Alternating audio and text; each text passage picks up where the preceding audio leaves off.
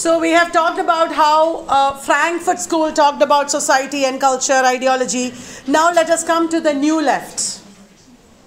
The new left as a movement was powerful in the 1960s and 70s. Remember, Frankfurt School was just before that, 30s, 40s. And the new left was partly a reaction against orthodox Marxism, like cultural studies also later was a reaction against orthodox Marxism and Communist Party's authoritarianism. At that time, Communist Party, not at that time, at all times, in fact, Communist Party was authoritarian. It uh, was oppressive to its own people, and uh, there was a Hungarian revolution at that time, which the Communist Party did not favor. It was against the Soviet Union. Hungary fought against Soviet Union and communist, actually Hungary was on the right side. But uh, Communist Party did not appreciate it because it was against Soviet Union. They were intolerant. So all these things disillusioned. I hope you understand. All these things at that time disillusioned the uh, thinkers of that time. And there were some excellent Marxist thinkers like Antonio Gramsci, Louis Althusser, who inspired the new left thinkers the new Marxists who are uh, doing Marxist revisionism, who are questioning Marxism itself. The new left thinkers were influenced by Gramsci and Althusser. The new left people talked not only about materialism and uh, economy, that is what the Marxists were obsessed with. The new left people talked not only about materialism, they talked about culture, they talked about civil rights, they talked about women's rights, the rights of the gay people, LGBTIQ people. So the new left was more broad in its perspective, it was wider. And the father of the new left was called uh, was Herbert Marcuse. Herbert Marcuse was a German Jewish philosopher associated with the Frankfurt School. We have seen that already. He did a lot of things. I'm not going into all those details because our main topic is cultural studies. I should not end up teaching you Marxism. So, I just mentioned here two of his most important works. Also to remind you that in exams like NET, look up all these major thinkers, look up their major works. Sometimes the title of the work is a concept of that author. Most of the time. So, like that, you should make your own notes apart from all this. Your own notes with all the major thinkers and their works and what they did, etc. It is easy if you sit down for like half an hour every day, uh, in a, in a few weeks you can complete it. It is that easy. So make notes like that. Herbert Marcuse's two important works are Eros and Civilization and uh, One Dimensional Man. Always Marxists thought that material uh, life or material aspects of life is what define our culture and our uh, identity. Marxists believe that materialism or money is the base, everything else is the superstructure. In Herbert Marcuse's Eros and Civilization, he is changing the focus completely. In post war mass culture, we are all in post war mass culture in a way. At the from the beginning itself, 1960s itself, in post war mass culture, you are following? There is a profusion of inauthentic false needs. We think we need a lot of things, we actually don't need it. In Facebook, again, you see so many different kinds of socks. What is the need for all this uh, socks that will separate your fingers, uh, toes, I mean? Uh, socks that will uh, the, you know protect your toes protect your heels socks that will i don't know what they create a lot of things yeah, I also need to protect my heel. Suddenly I will think and buy that socks. Even though I have no need for it. Did you understand? So, false needs we have. They are creating for us false needs. We think, yeah, I need that because I never. an endless examples I can give you for false needs. Capitalism in the post war mass culture creates for us inauthentic false needs, which we have nothing to do with, but they become our needs. Then, sexual provocations and instantaneous gratification. We are a highly sexed society. That is why Eros and Civilization. The title, Eros. Eros and Thanatos. Remember, Eros is life drive, sex drive. Thanatos is death, death drive. Because of internet, uh, our masculinity and femininity, our appearance, our bodies, our sexuality, our sexual needs have become uh, overemphasized. This is why we have we are such a frustrated society. We need we we keep even though you know many of us in many communities are liberated but we want more liberation. We want you know to show our liberation in uh, more more ways. We want to rebel. We want to uh, possess our identities in you know especially in metropolitan societies. The more metropolitan we become their liberation is somehow not enough because they want to assert their uh, sexuality and physicality, their material uh, needs, etc., more and more. And they all want instantaneous gratification. We are not ready to suffer, we are not ready to change, we are not ready to undergo any transformation, we want everything immediately. This is why we have come, become a rape culture because of this frustration, because of these false ideologies. Because actually, men do not have all those problems with women, so to speak. Especially in metropolitan societies, people are largely liberated in many ways compared to the uh, rural, suburban women and men. What is the problem in cities? The problem is not real, the problem is created by capitalism. I hope you understand. And Herbert Marcuse says that because of the profusion of needs, of uh, commodities, of uh, you know methods of gratification, I am depressed. I need to smoke. I'm even more depressed. I need to drink. I'm even more depressed. I need to go dancing. I need to go dancing in the disco every day. Actually, you're not depressed. we have a hundred thousand reasons sorry, things to consume because we are depressed in the metros. I'm so depressed, let me watch that movie. I'm so depressed, let me uh, go to the mall. Why depression? Why loneliness? Because you are not talking to anybody, you don't have friends, you don't have uh, you know real meaningful social life you have nothing to do with your family you don't talk to them you don't meet your cousins you don't have the traditional lifestyle you are always alone in the social media, you feel meaningless. You feel lonely. Who asked you to do that? People in metros do not even have time to get married or have children or families because they are after careers, they are after. Actually, do we need all these things? Do we need so much money? Do we need so much success? We don't actually. We can be happy being what we are, but we are never happy because we want more, more, more, more.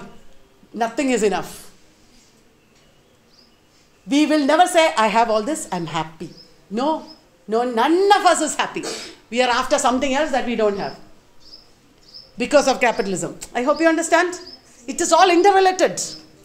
It is unnecessary, but we can't help it because capitalism forces us into it. Everywhere we turn, we are bombarded with commodities and needs and requirements for which we, we should make money, we should do this, do that.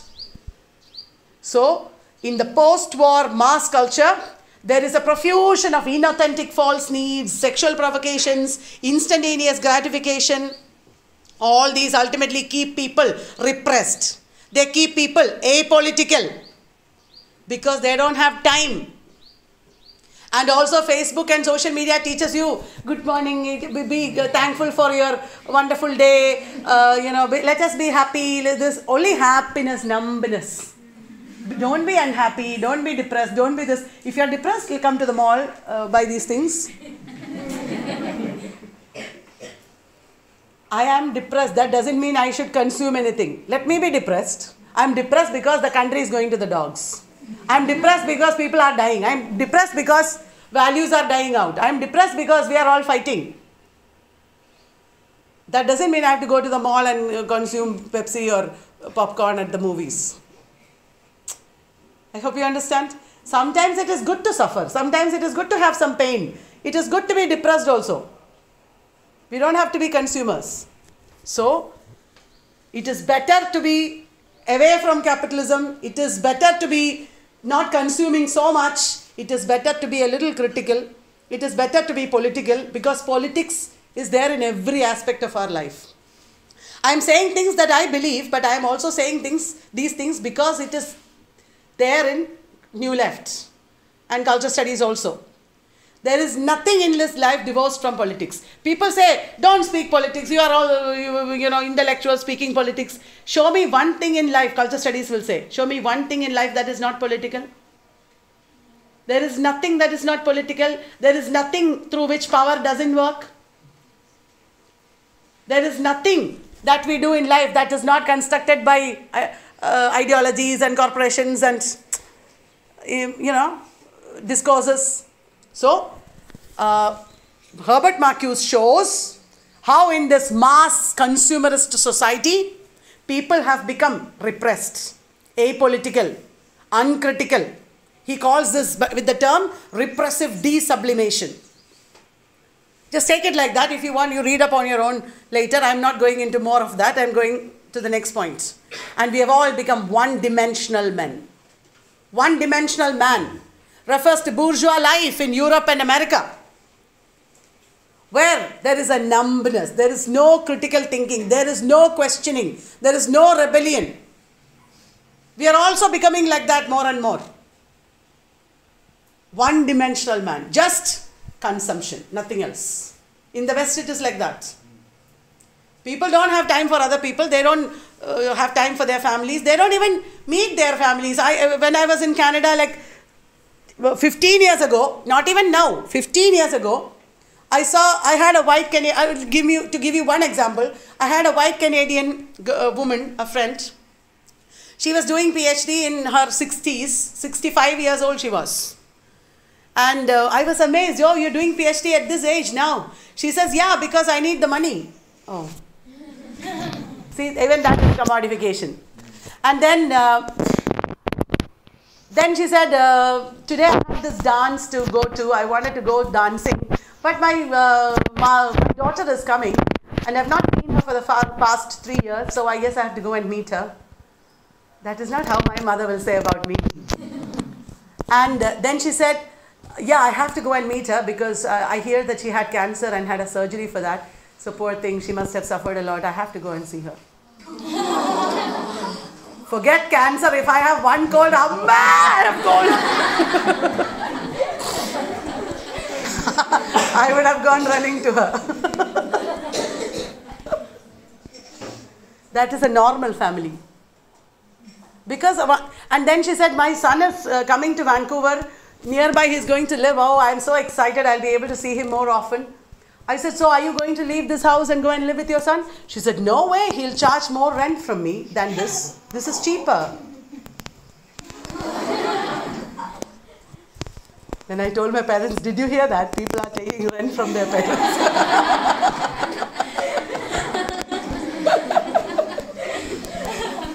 Such a different culture. They are normal people, not, you know, abnormal people so much different cultures are and so one dimensional. What do they do? Because they don't have children staying with them, they don't know anything about their children, they have nothing to do in life, no cooking, no, because everything is like easy food there.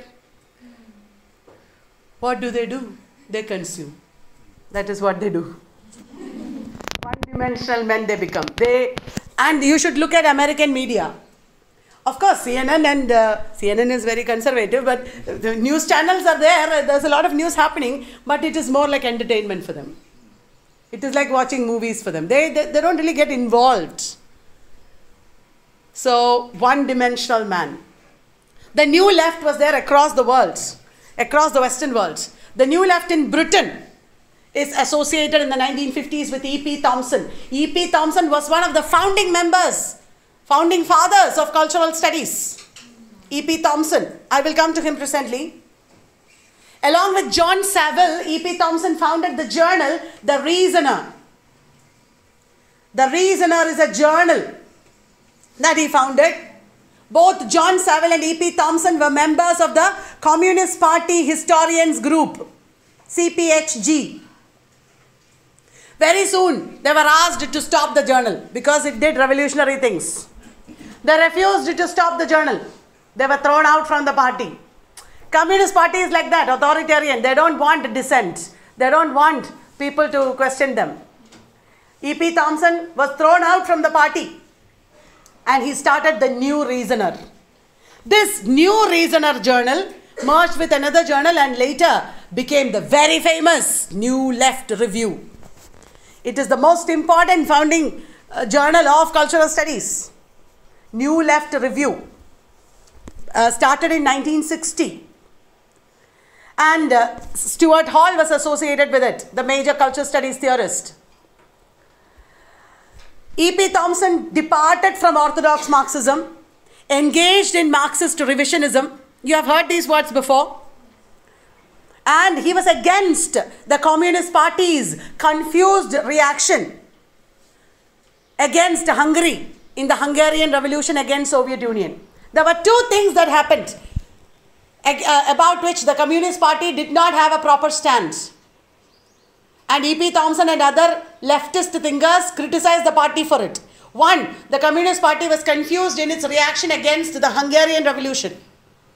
Two, the British and French invasion of the Suez Canal zone. About that also, I, I, I don't know a lot about that event.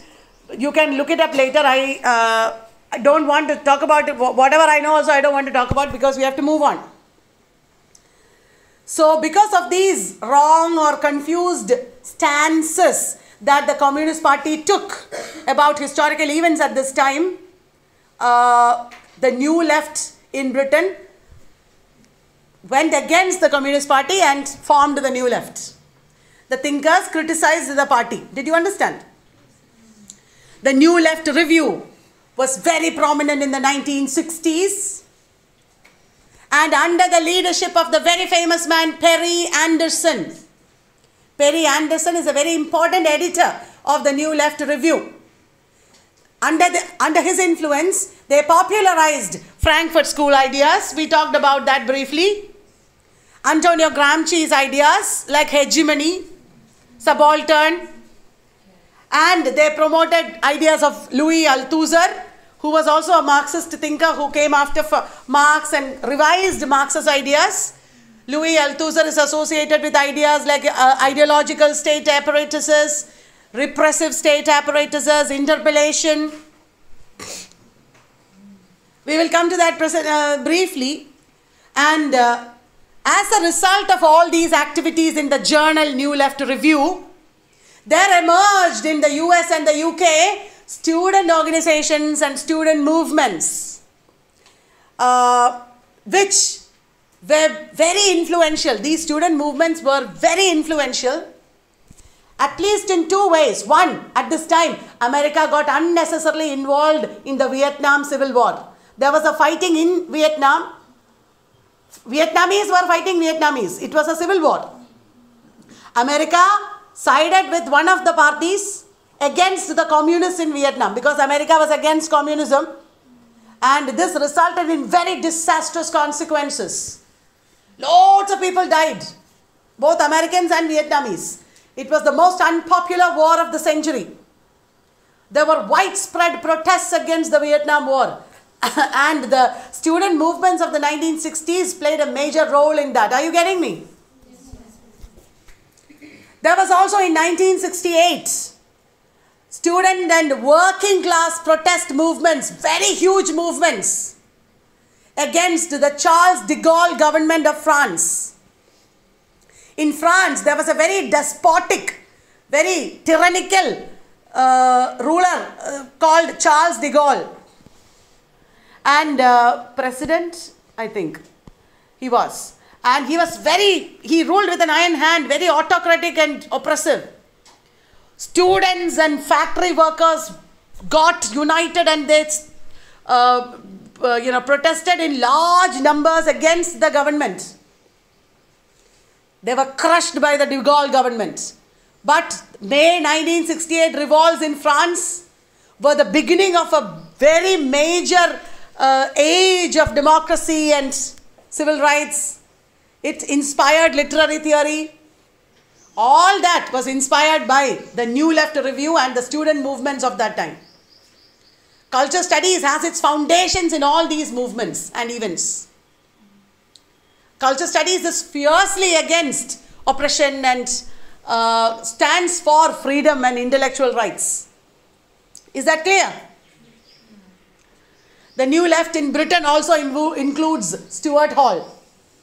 Stuart Hall was a black cultural theorist. He was a black man who came from Jamaica in living in Britain.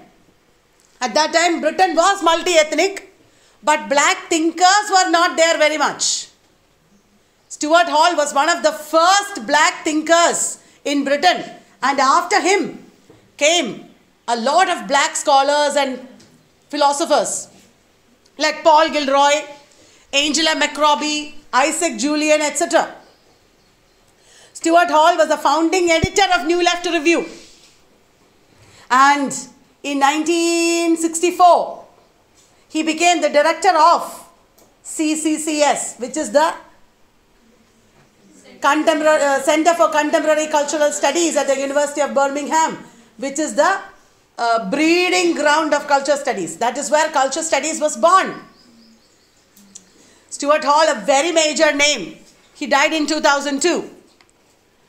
Then, Raymond Williams was another important figure associated with culture studies. I'm not, I've, I've not done with Stuart Hall, I'm just introducing. We will deal with him separately in detail.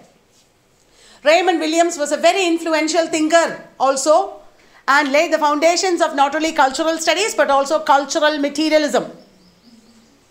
It was in the book The Long Revolution that he talked about cultural materialism, which is uh, like New Historicism, a revision of history and the canon. And the very famous thinker Terry Eagleton was a student of Raymond Williams. So these great thinkers and great works were all there as part of the new left in Britain. Then the new left in the US. I am still in the introduction to culture studies, okay? The, that introduction is very important because that is the foundation. The new left created student movements in the US also.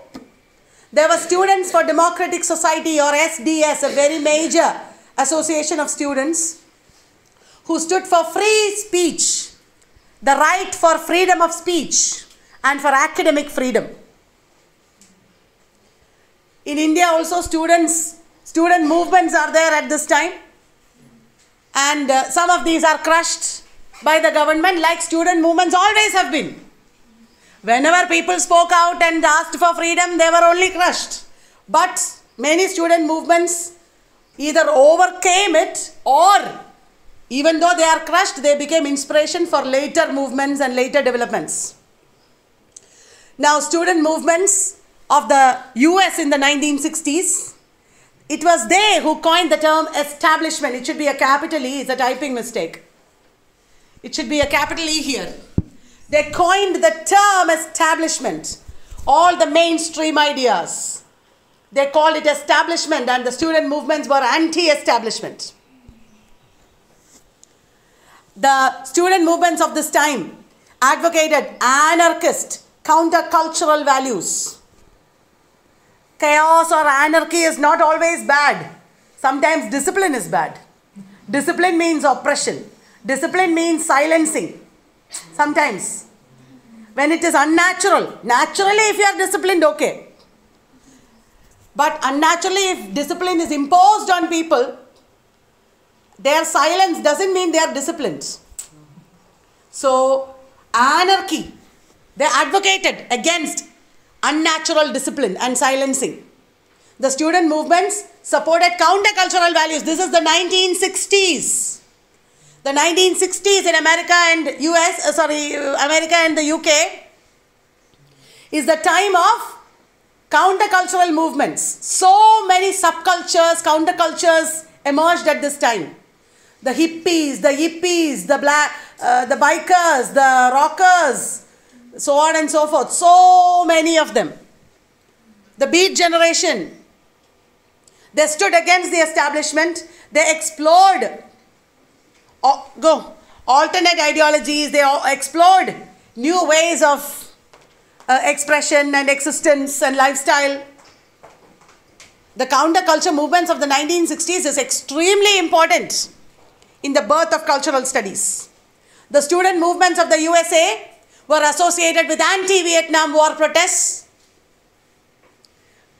with the association called industrial workers of the world it is a, an association that held a big role in US history and in Eugene O'Neill's uh, Hairy Ape. Yes.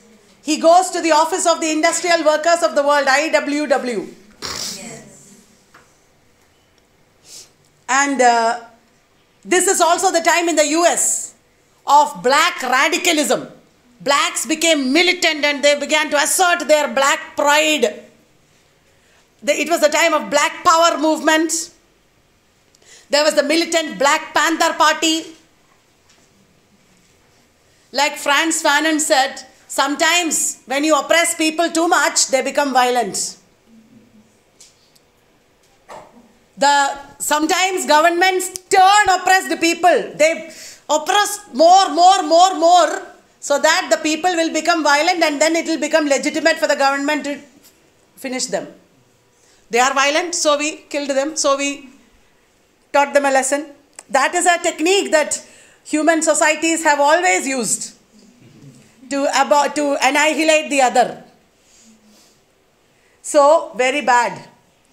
The blacks are violent sometimes in, at this time. Black Panther Party was a militant party. It was a rebellion against oppression and ostracization. This was also the time when women began to speak out and find their voices. The 1960s feminist movement is very famous and important. Feminism started in the end of the 19th century itself. But this second wave of feminism was the political phase of feminism.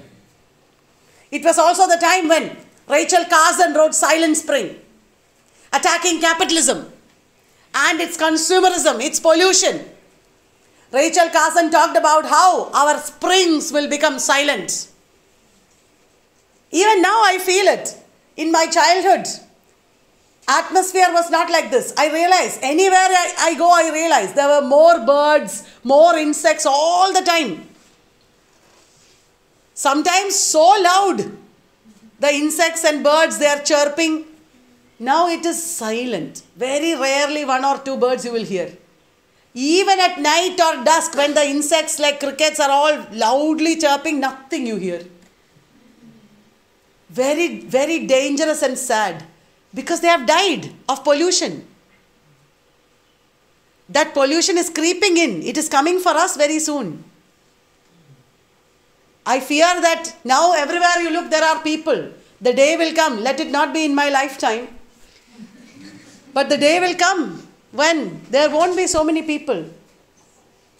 Like in dystopian novels, if we are not careful, in large numbers we will die of cancer or some disease because of our consumerist life. We don't care.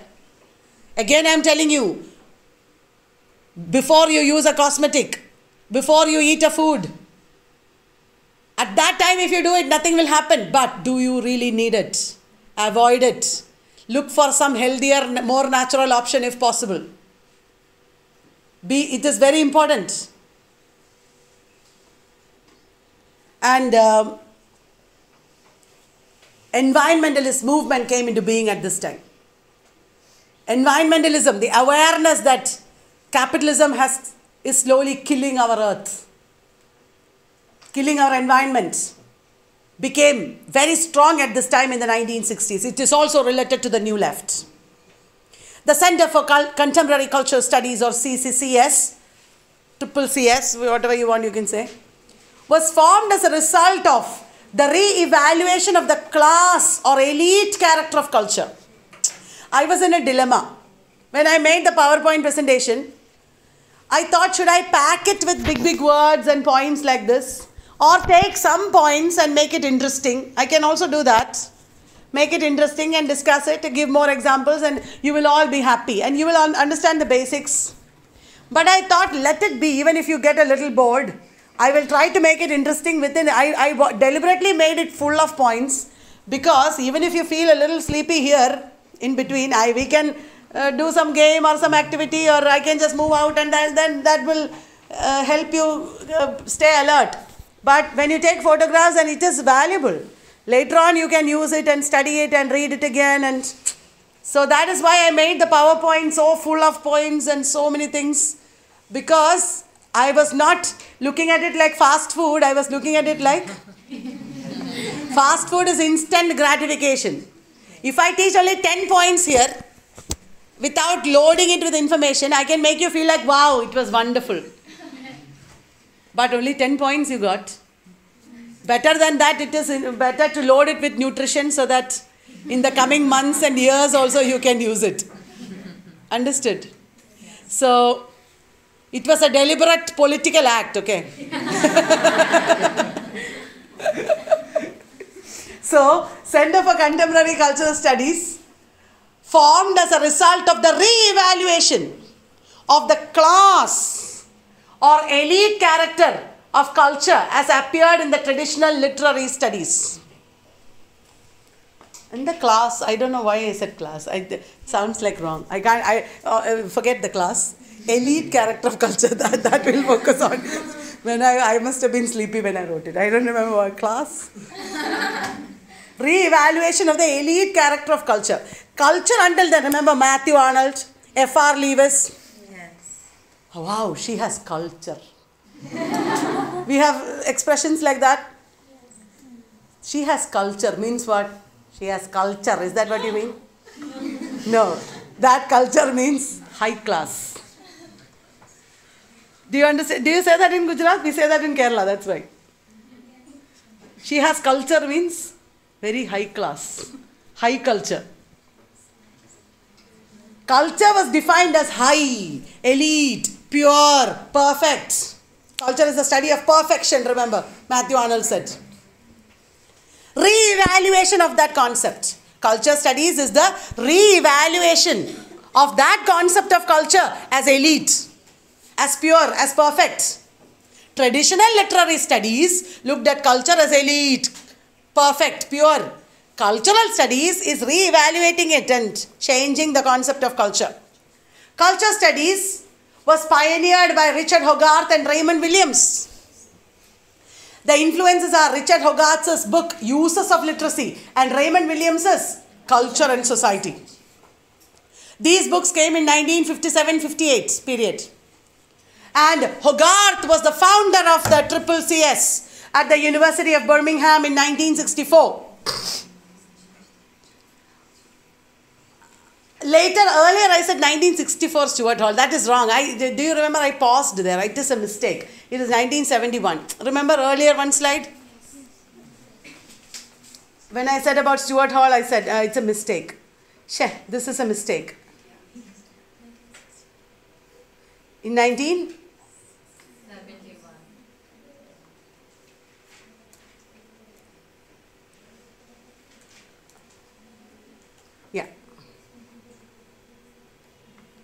So that proves that even if you make one mistake, it's okay. You can correct it later.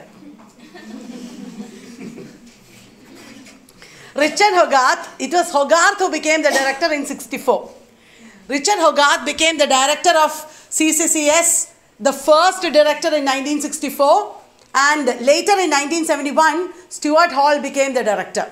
Okay? In the late 1990s, something happened at the University of Birmingham and triple CS was stopped. Politics. At the University of Birmingham, there was some politics. Other professors did not like uh, Hoggart and uh, Stuart Hall becoming so famous, etc. I suppose, I don't know.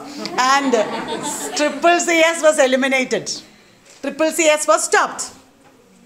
So let us take a look in detail at the pioneers.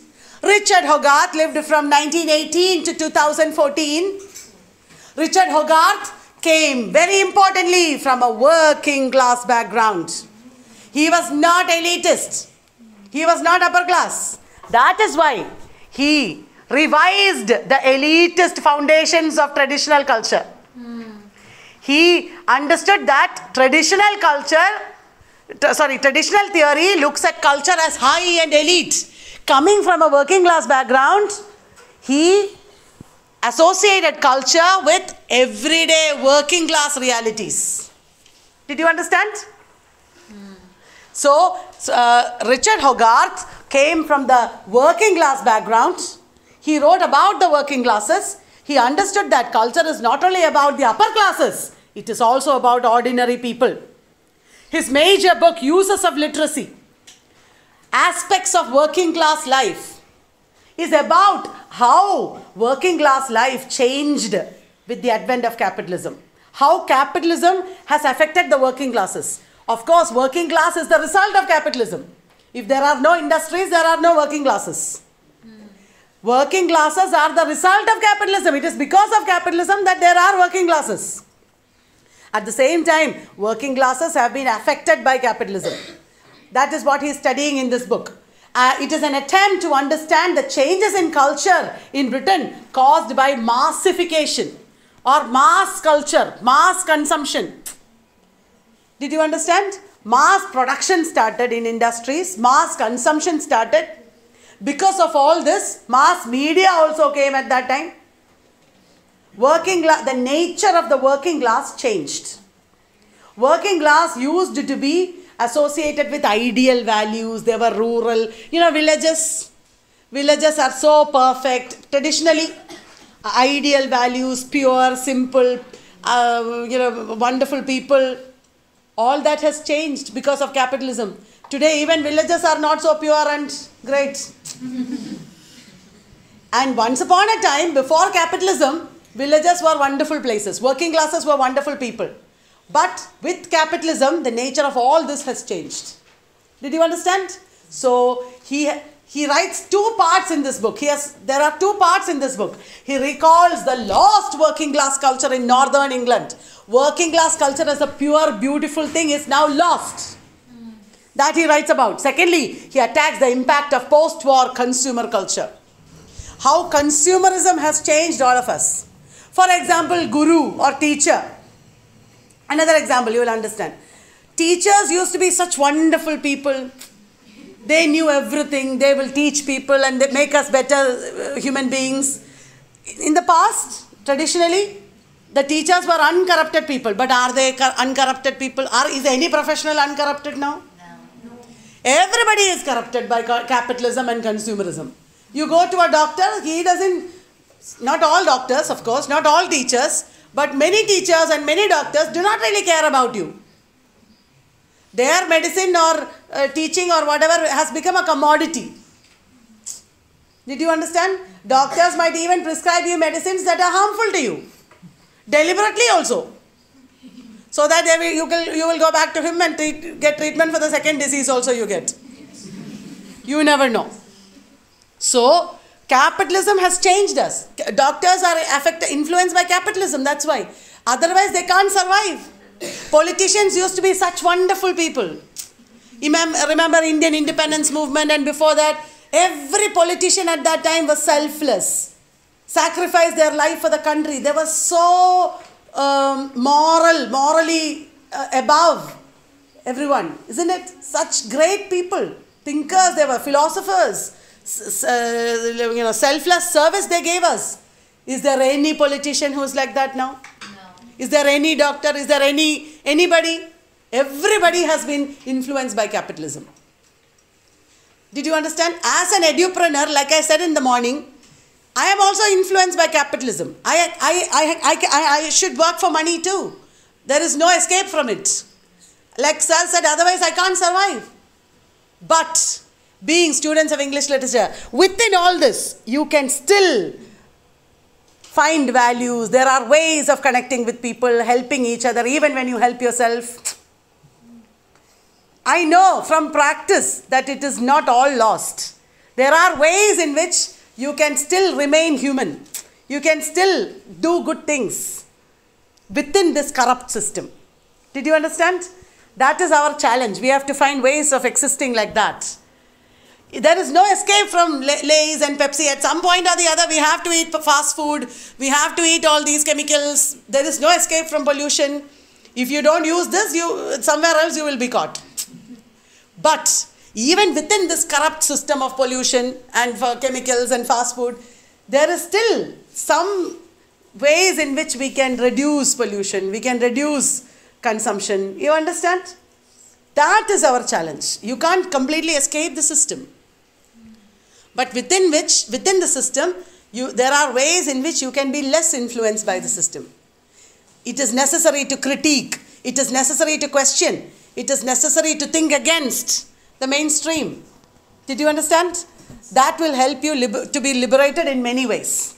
So he attacks the impact of post war consumer culture. Why I said this is because it looks like a futile exercise. We are speaking so much against post war consumer culture.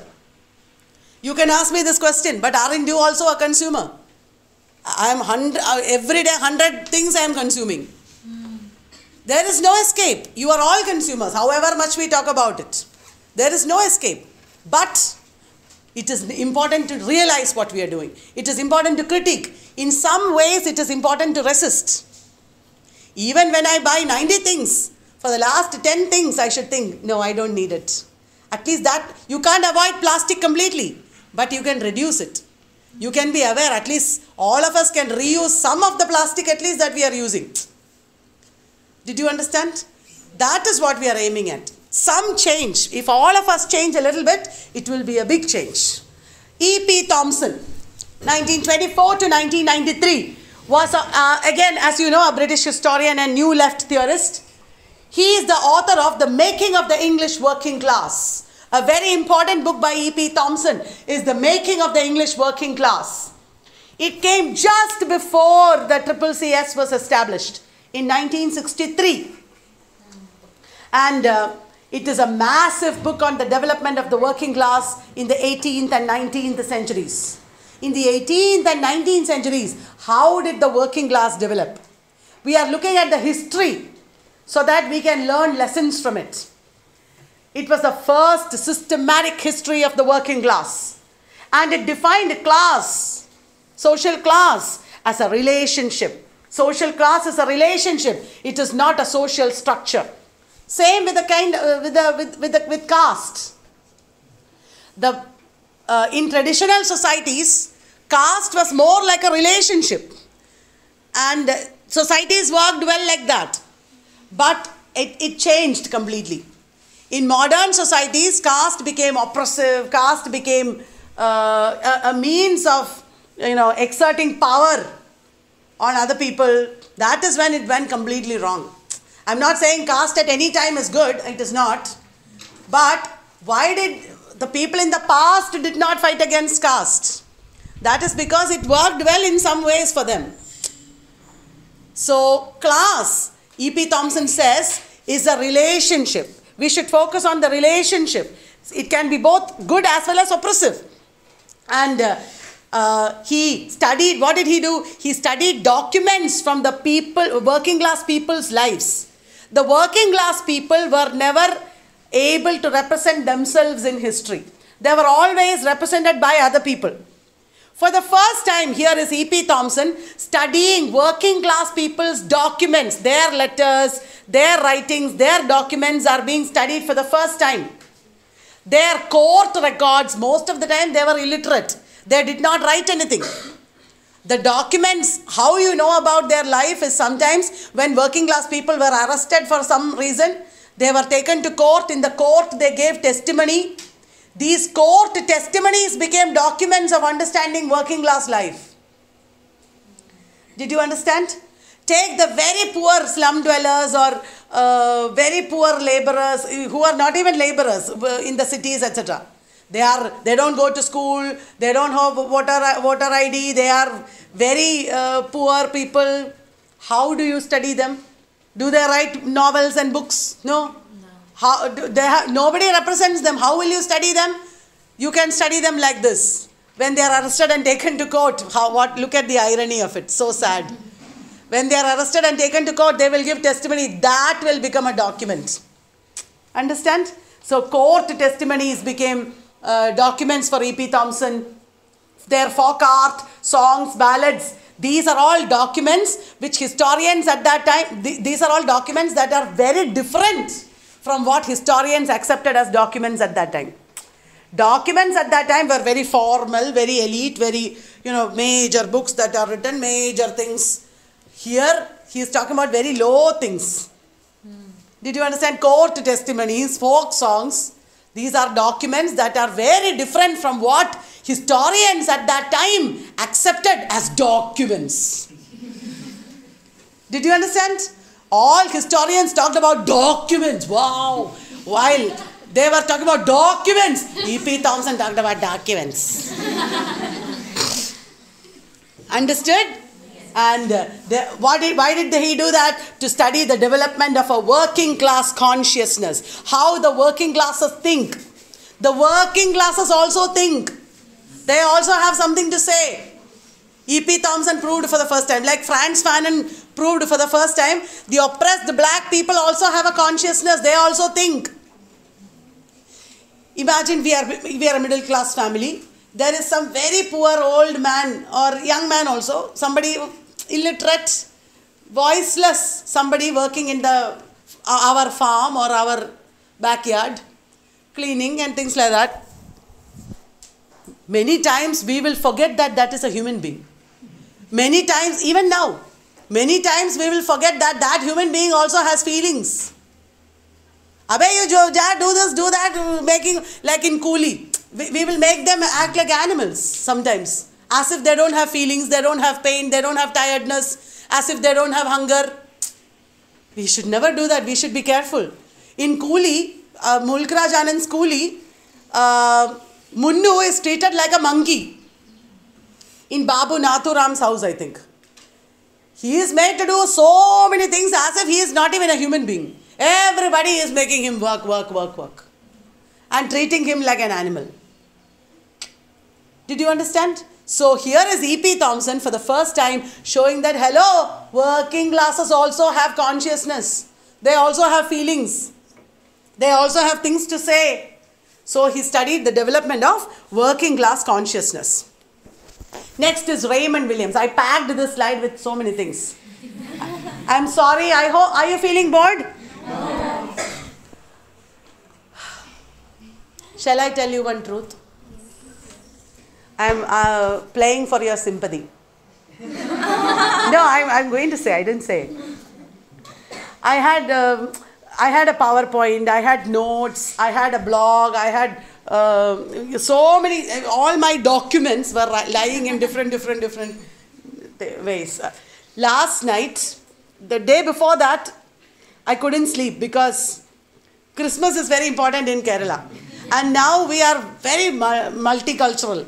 Uh, we celebrate all other people's festivals very ardently now to retain our secularism and you know uh, hindus celebrate christmas uh, christians celebrate eid like that and uh, christmas I, I, had friends and we had a celebration and that night at 3 o'clock i had to travel to ahmedabad and uh, last night I slept again at 3 o'clock or 3.30 because I was working on this PowerPoint, collecting all the information that I already had.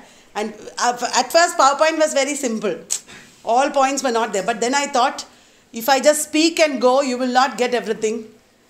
It is better I put it in writing here on the wall so that you can take pictures and read it again. And because if, when you spend one day full of uh, you know, effort like this, it is going to be a very hard day today for both of us. but that one day should be enough for a lifetime. So much you should get. Otherwise, why, why should I uh, take all the effort? So, 3 o'clock till 3 o'clock, I have not slept for two days. And I got up at 6 o'clock also. So, my head is breaking actually, but I, I want to do it. I like doing it. Please don't be bored. Please don't be sleepy. blackmail, blackmail. it's all cultural studies, you can't blame me. So, Raymond Williams uh, lived from 1921 to 1988. For all the major people, you should remember when they lived, when their books were published. They will ask, arrange the following chronologically and questions like that in net. Did you understand? When you study itself, you should study, understand in that direct, in that sense. Then actually net is a very easy exam. If you know properly the basics, easily you will pass net. That is the truth. But you should know the basics and you should know it properly. It, you should not pass MA without knowing Raymond Williams. You should not pass Stuart, uh, no, MA without knowing Stuart Hall also. Those base, it, it is like saying you should not pass MA without knowing some Shakespeare. I never heard of Shakespeare, but I have MA in English. Is that possible? is that possible? Like that it is. Did you understand? So, um, Raymond Williams was also born into a working class family. Very important. Derrida, who questioned uh, Christian, uh, uh, you know, foundations of knowledge, was a Jew. Raymond Williams, who followed the elite, who questioned the elitist foundations of culture, was from the working class. He was born in Wales. That is also a marginal place in UK. He was born in Wales. He joined the Communist Party. He fought in the Second World War. And his first major book was Culture and Society. Published the year after the making of the English working class came. E.P. Thompson's book, 1957. Raymond Williams' first book, 1958. Okay? Culture and society. They will ask chronologically arranged. These, the following are all culture studies texts. Arrange them chronologically. If you have studied properly, you will be able to arrange. If they give four or five books that have to be arranged chronologically, you don't need to know all the five books in the exam. If you know one or two, two famous ones within it, you will be able to get the answer. The paper, uh, question paper setters in net are such kind, wonderful people. they don't want you to know everything. They just want you to know the basics, the most important things. Unnecessarily, you suspect them. you understand? So, study properly. Cultural, so, culture and society was inspired by T.S. Eliot's very major work, Notes Towards a Definition of Culture. T.S. Eliot, remember, had an elitist conception of culture. Culture is high and mighty, elitist, pure, perfect. It was uh, inspired by T.S. Eliot against it, and it was against the prevalent notion of high spiritual culture. Have some culture means what? It doesn't mean popular culture, right? So, culture was defined as high spiritual. Uh, culture and Society by Raymond Williams is against that notion. Uh, high culture or traditionally, culture was segregated from the popular and the ordinary. Culture is what is not popular, culture is what is not ordinary. In order to see what is culture, you had to go to museums. Did you understand? And at that time, culture was also against social equity, against the social equity. At that time, high culture did not believe that everybody is equal. High culture did, did not believe in democracy. Some are great, others are all bad. Canon. High works, high culture as against the popular, low, bad, corrupted. Clear? I remember in my childhood and in, in the days when I started, when I was doing BA, if I was reading some popular fiction, my father is a professor. If I was reading some popular novels, etc., my father always used to say, Why are you wasting your time reading popular novels? Read some uh, classics. he used to say that. He forced me to read classics and put away my popular fiction. Poor man, my father, he didn't know cultural studies is coming.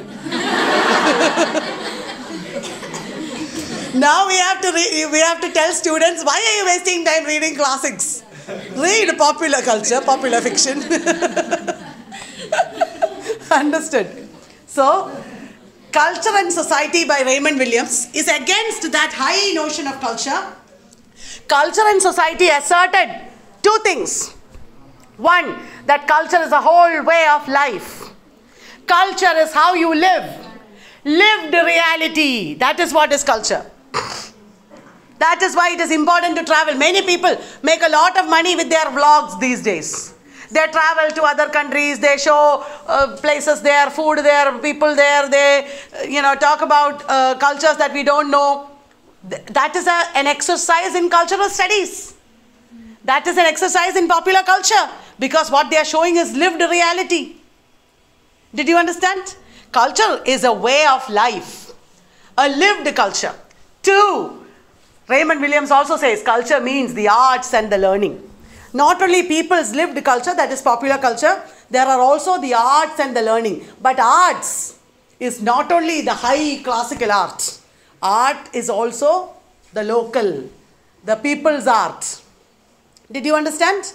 That is why today we can do research on social media posts, we can do research on selfies, as I said, we can do uh, research on, um, you know, small practices in um, uh, postmodernism, Francois Lyotard, Jean-Francois Lyotard famously said that uh, postmodernism is incredulity towards meta-narratives. Today we talk not only about meta-narratives, we also talk about mini-narratives. Yes.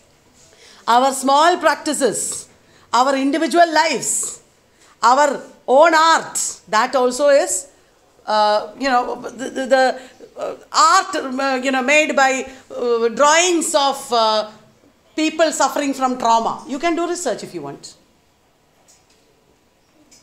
Imagine let, let us imagine that some somebody who is a rape victim has drawn pictures after that showing trauma. Somebody who is a victim of war has drawn pictures. You know you can collect if, if available these pictures that people have drawn as a result of trauma and do research on that. That is not great classical art like Da Vinci's or Picasso's or Michelangelo's. It is all individual people expressing themselves. That also can be do, uh, done research on. Why? Because culture is no longer high and mighty. There is a related concept called culture is ordinary. It was also the name of an article, title of an article written by Raymond Williams. This means culture is not democratic sorry, not elitist but democratic. Related concept, isn't it clear? Yes, then, uh, he asserted, Raymond Williams asserted that democracy and culture should develop together. Culture is one thing, democracy is another, not like that. People's culture, people's art, people's expression, people's political freedom, they are all interrelated. He shows that how we describe, how we modify, how we exchange and preserve experience, what we do with our experience is fundamental to the development of culture and society. In that sense, it is important that you take selfies. When there is a workshop, it is important that you uh, write about it in Facebook, you post pictures about it, you comment on what other people have said about it. All that is are different ways in which you describe experience, modify experience. Experience, it is very important for me that not only do you enjoy in this class, it is very important for me that you write about it in Facebook and social media. Isn't it important for me? How you feel today is not enough. How you describe it is also important. Clear? How you describe it is important. Experience is important. How you modify experience is important. How you exchange and preserve experience is important. That is why our social media is important. That is why we take pictures. That is why we preserve experience. Because it is a fundamental way in which cultures and societies develop. Uh, even though people make fun of uh, you know selfie culture and uh, social media culture, it is very important that we engage in all these activities. He studies, Raymond Williams studies cultural production to understand how forms of communication such as the press, such as advertising, education, etc. were instrumental in the function of capitalism. Even as we know that social media or press or education, etc. give us freedom, give us individuality and independence, it is wonderful that we have education. It is wonderful that we have the social media. We have so much, uh, so many avenues for self-expression.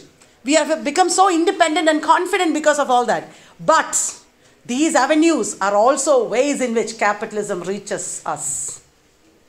It is through education and literary theory that capitalism teaches you give up your Gujarati identity, become American, global. It is through the same social media in which we find enjoyment and uh, individuality. It is through the same social media that capitalism makes you buy unnecessary things and become victims of consumption. So, it is two pronged, it is both ways, double edged sword. Right? So, cultural production is studied to understand how forms of communication is instrumental, are instrumental in the function of capitalism. We, in a world where uh, all communication is shut down, no capitalism will survive. Capitalism won't survive. Capitalism needs us to communicate.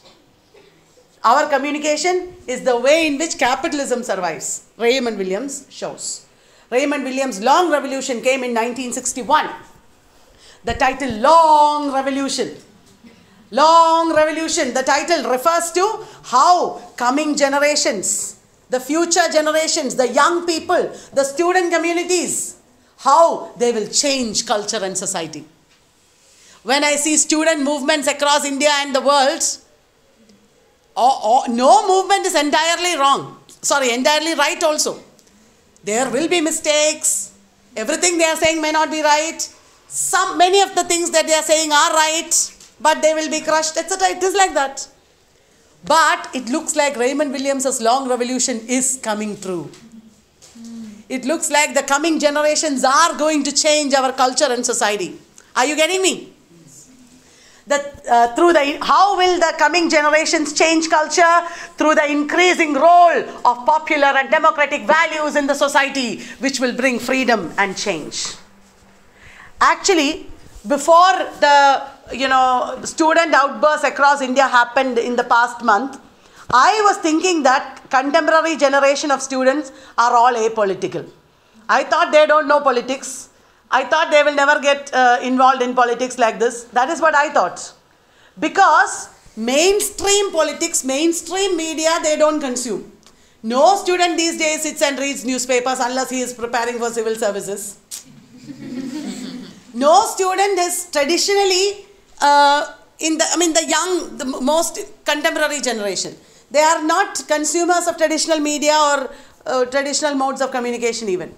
But they are posting in social media, they be using alternate media was also enough. It is only that every age is political, I understand now. Every age is political. When the media changes, it changes from traditional to alternate, that's all. In some other ways, they have remained political. They have their views on culture and politics and life. The contemporary generation also. Are you following me? Yes. It is not that they are apolitical. Only thing is that they are, I'm, I'm talking about you. Your uh, ways of understanding reality and politics have changed. It is not like it was 50 years ago. But that doesn't mean you are apolitical. That doesn't mean you are you do not know anything. Understood? So the coming generations, by their use of popular and democratic values and ways of communication, they will bring freedom and change. Three elements within, sorry,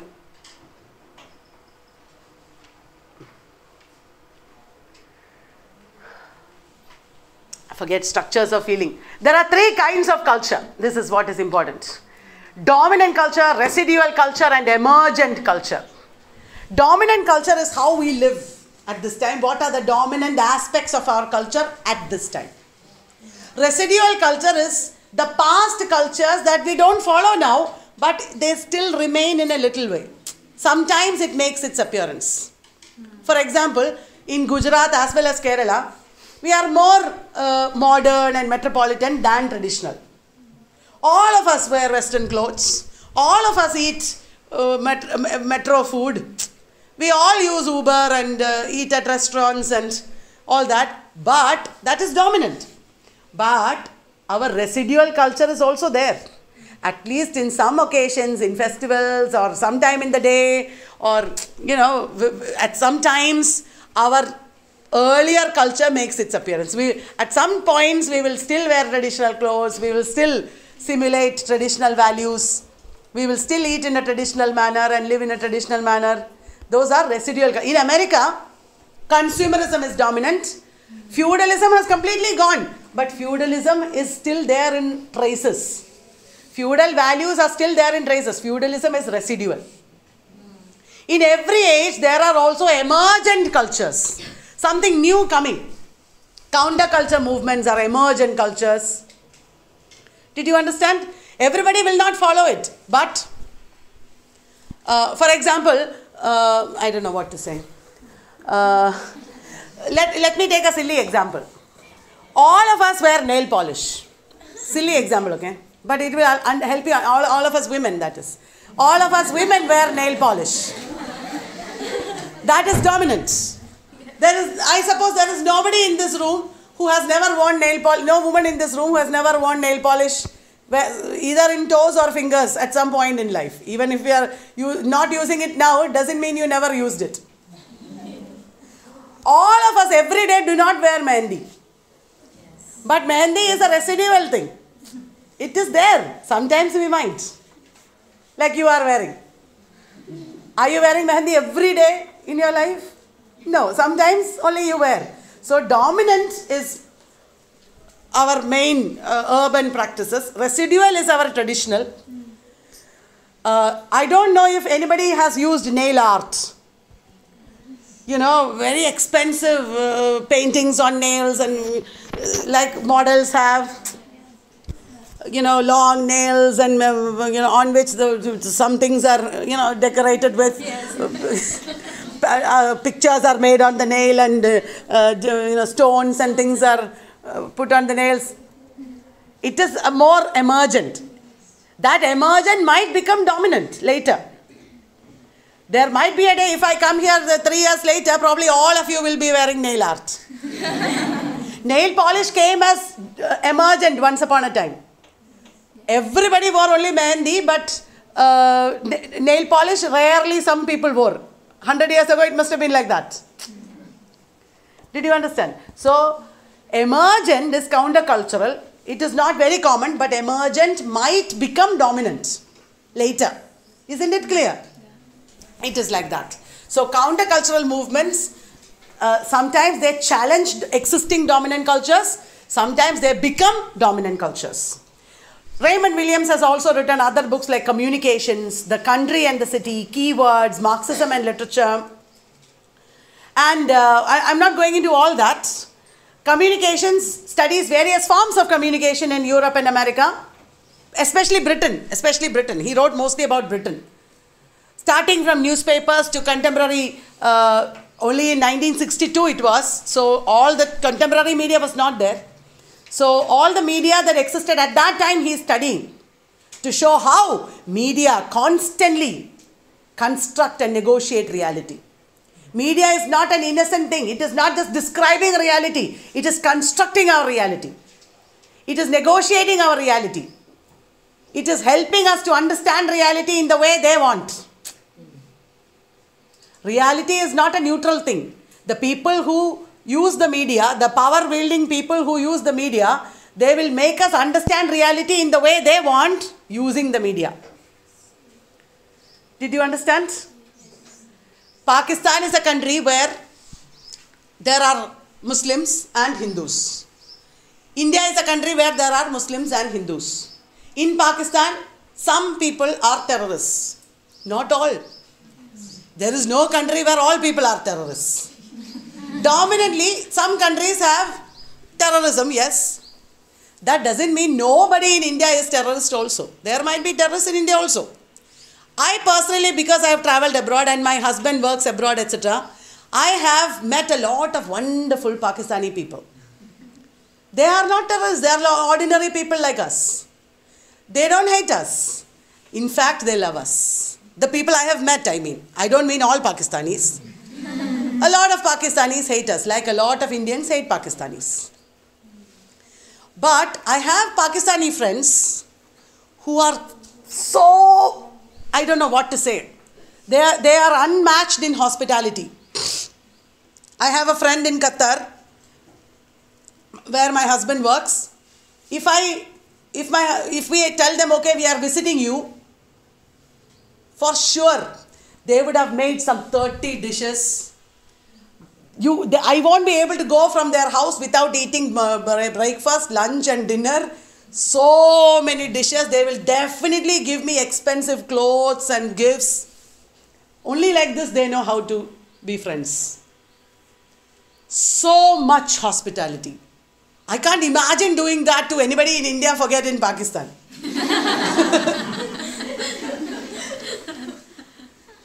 so, wonderful people are there everywhere. But, how does the media train us? The media trains us to think that every Pakistani is our enemy. Everybody in Pakistan is a terrorist. Like that, we, media doesn't say that, but it gives us the feeling. No film ever says everybody is in Pakistan is a terrorist. Nobody says. But media will create images and ideas in such a way that we end up thinking it is our fault. We end up thinking, yeah, all Pakistanis are our enemies. This is very dangerous. Not only India and Pakistan's case, so many nations are fighting, communities are fighting, hating each other, killing each other because of media. It is very important that we talk about communications and media and how it corrupts us, how it uh, misrepresents people, how it influences us. This is a very important book in that sense. Raymond Williams' Communications studies various forms of communication to show how they continually construct and negotiate reality. Until we say, okay, okay, Pakistanis are our enemies, agreed. Until we think like that, they will bombard us with information and images and selectively. Nobody ever talks about, except in the social media sometimes, nobody ever talks about that wonderful Pakistani who loves that Indian and uh, sacrificed his life for that Indian or things like that. There might be people like that. We only hear about how they hate us, they are trying to kill us, we should also take revenge on them. Like that only we hear. So, media influences us. It gives us certain perceptions which are not actually real. Partial reality becomes naturalized as the reality. A lot of women cook for their husbands and children and have wonderful families. They are the uh, guiding light in their families, etc. Majority of women are like that. What about women who do not cook for their husband? I do not cook for my husband. Not because I don't love him, not because I'm a bad wife, but because for me my priority is different. My husband also understands. When he comes home from Qatar for one month, I don't even make him one cup of tea. Because I know and he knows that I can still be a wonderful wife and we can have a good relationship even if I don't spend time making a cup of tea. I don't cook at all. Not because I don't know, I like cooking and I know cooking also. But if I turn to cooking, I won't be able to make books or teach or travel or do anything else. The kitchen will like trap me. As a policy, the first decision I took in my career is I will not cook. That doesn't make me any less a woman. When I pay somebody money to cook for me, I am giving somebody a job which is greater than I make money for her so that she can cook for me and so that she can run my family, run her family as well as mine. Isn't it empowering for her? Isn't it better that I make money to uh, for some family to live than I cook my own food? I thought like that. So, um, why did I say this? I don't know. Women, I was talking about representation. It is true that many, but I was talk, going to talk about advertisements. In advertisements, you always see women cooking, cleaning, looking after their families as if only those are women. Did you understand? No woman is there in any advertisement who doesn't cook. If a woman doesn't cook and her husband cooks for her, it is possible that the woman might make more money. The husband doesn't have a good enough job, so he does also the cooking. Isn't it possible? Yes. it is possible. Why not? What is wrong with it? but you laughed. Will you want to marry a man like that? Suppose you are highly educated and no, wait, listen. Suppose you are educated and you have a job and you're not yet married. Suppose you are not yet married.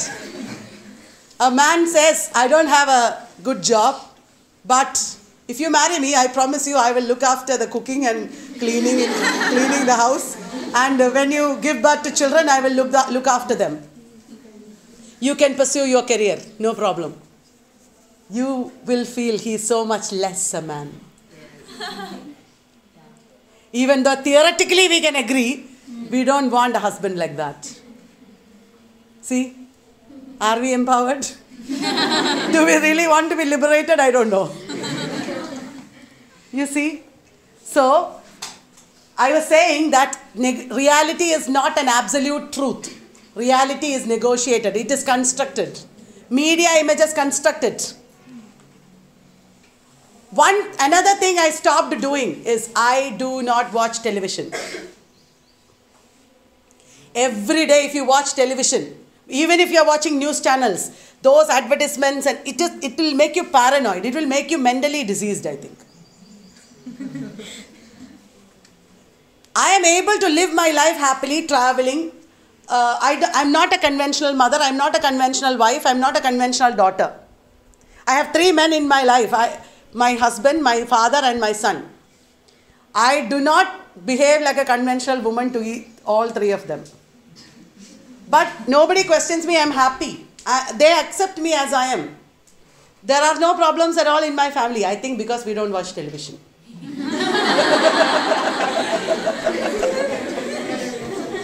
I hope you get what I mean. Yes. yes.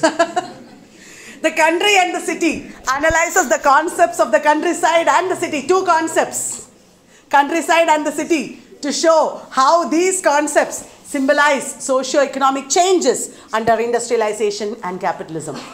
Countryside and city are not innocent and uh, absolute truths, like reality is not an absolute truth. Industrialization and capitalism have defined country and city in certain ways. For example, I have a husband who works in the city of Doha.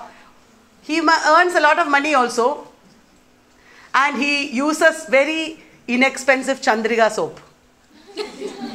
he is living in the Gulf where all sorts of soaps from across the world are available. And he has the money also to buy it. But he uses Chandrika soap. If he wants a change, he will use Medimix soap. you, do you have Medimix here? Yes. You have, right? Yes, Medimix. See, you people don't even know. Because you are using all Dove and pears and other things.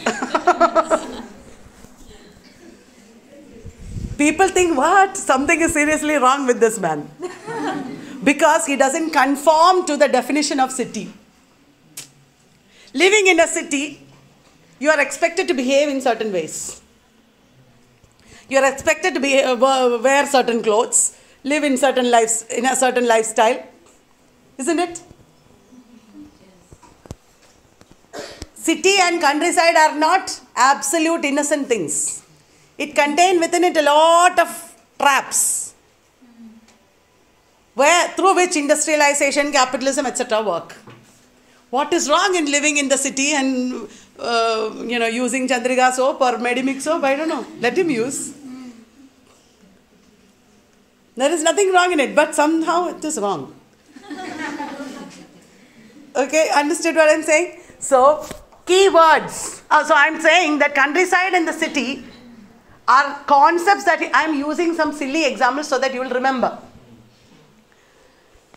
Ah, this is the point she talked about Chandrika soap. Immediately you will click the right answer in the exam.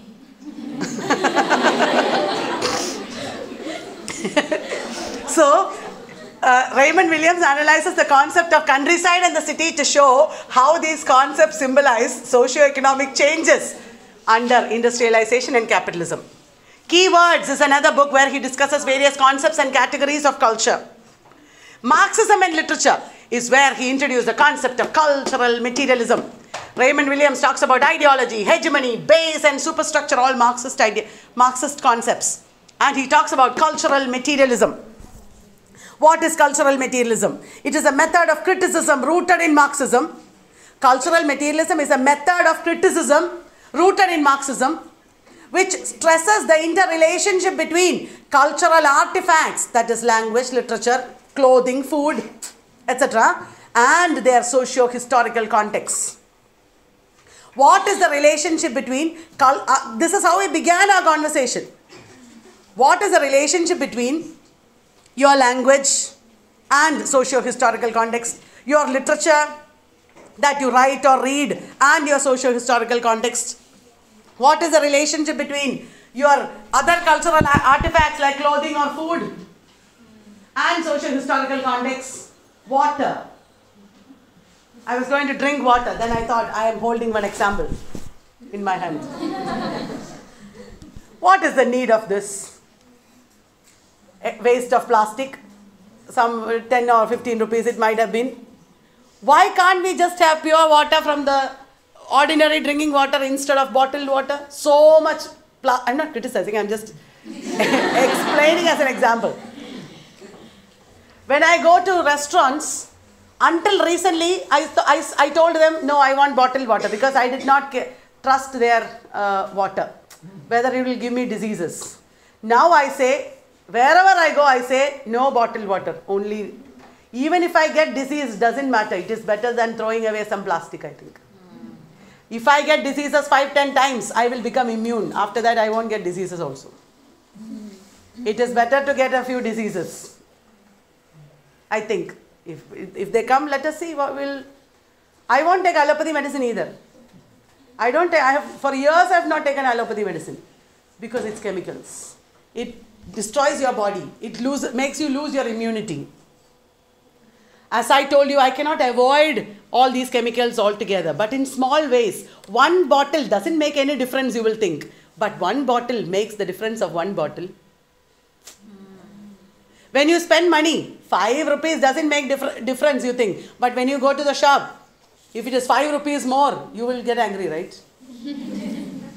MRP is 20 rupees, but give me 25 rupees. Will you give? Why? 5 rupees doesn't make a difference. Give. Even small things make a difference. Every day, if I avoid one bottle and I inspire 100 people not to use bottles, it will be a revolution. See, did you understand? I won't drink this. Give me some water if you have. I just need a drink of water. Can you open it for me? As I spoke, also, I thought, okay, but doesn't matter, one bottle I'll drink. But then I thought, no, I won't. Let somebody else will drink, no problem, but at least one bottle less. Thank you. So, cultural materialism stresses the relationship between cultural artifacts. This is also a cultural artifact.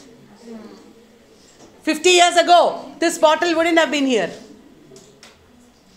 You would have given me in a jug. Cultural materialism stresses the interrelationship between cultural artifacts like language, literature, bottle of water, and their socio historical contexts. There is a politics in this. Cultural materialism is political. You have to analyze everything in culture in a political angle, from a political angle. Culture is a productive process. It is rooted in the means of production and ideology.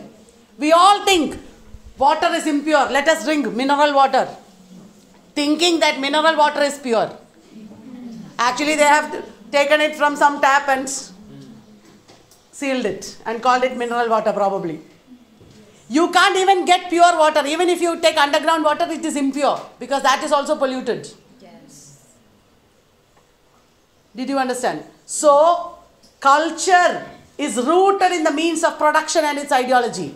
The culture of drinking mineral water is rooted in the production companies that made this and marketed it and taught us some values of cleanliness and, um, you know, disease causing germs, etc. All the products taught us there are so many germs around us. So we need detergents, so we need uh, cleaning powder, so we need mineral water, so we need most of the things we need today. We have to stop using so much soap, so much shampoo. We have to stop using deodorants. It is okay if you have a little dirt on your body or sweat on your body. You don't have to be spick and span all the time. Because all these things we are using because of fear of dirt and germs and smell and uh, all these things are harming us. That culture we have of this brushing so many times every day and after that also eating mouth fresheners and you know. I remember before all this culture came, my mouth felt differently. Now it is like my mouth, inside my mouth there is no layer. One layer is missing, I think, because of constant use of mouth fresheners and brushing and because oh, cleanliness. Did you understand what I'm saying? yes. We don't need all these things. All these cultural uh, ideas we have are actually rooted in production, markets. Jonathan Dollimore and Alan Sinfield have written a very major book in cultural materialism called Political Shakespeare. Jonathan Dollimore came to Kerala last time and today is the one first anniversary of his coming to Kerala and he had posted in his Facebook page, we are all friends of Jonathan Dollimore. Yeah, he's such a down to earth man, wonderful man. And he said, in memory of my wonderful days in Kerala or something. And this morning I saw the Facebook post and I thought, what a coincidence. Today I'm going to talk about him. In Political Shakespeare, he says, he, they show how dominant hegemonic forces, there are some dominant hegemonic forces that appropriate canonical texts to make us accept certain cultural values rather than others. For example, Shakespeare.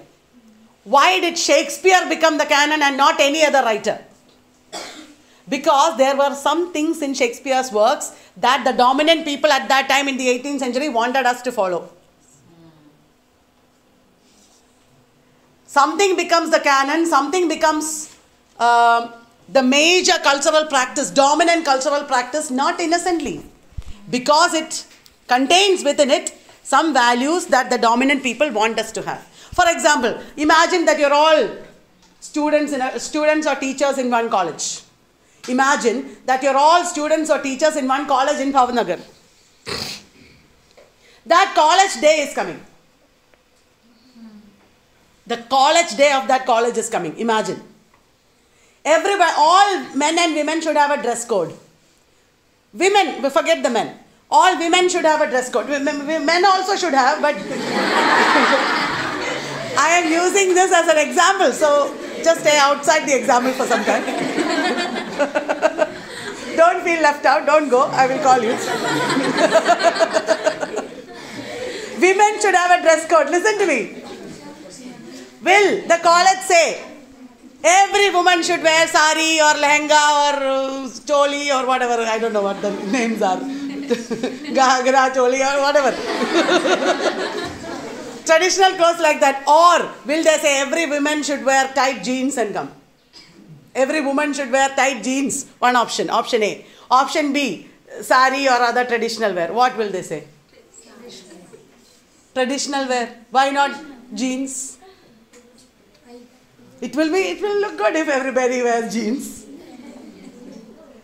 Sari or that dress code becomes the dominant canonical accepted code because it contains some values that the college authorities want to assert. They don't want to assert the values associated with jeans. Very true. Understood? The college authorities do not, they will support sari because sari represents some values femininity, submission, beauty. Not sexiness, but beauty. Not independence and freedom, but submission. Not gender neutral equality, but submission and femininity. Like that, Shakespeare is like a sari.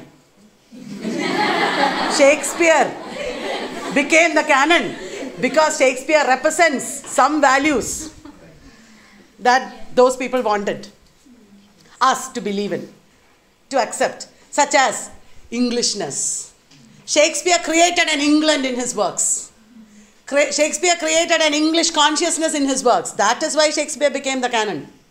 If Shakespeare wrote all his works about India, because India was ruled by England at that time, would Shakespeare become the canon in English literature? No. No way. Shakespeare could have written about India also, all his works. Did you understand? Why do some people get Nobel Prize? Because they support the views of America and Europe in some way or the other. Orhan Pamuk is from Turkey. He showed the underside of Turkey, the, all the corruption happening in Turkey, and he's a good writer, so immediately Nobel Prize. Mo Yan, Chinese writer, showed the corruption in China, immediately good writer also, Nobel Prize. You are also, are also getting Nobel Prize. Are you from India? Are you a good writer? Have you shown the corruption of India? Nobel Prize.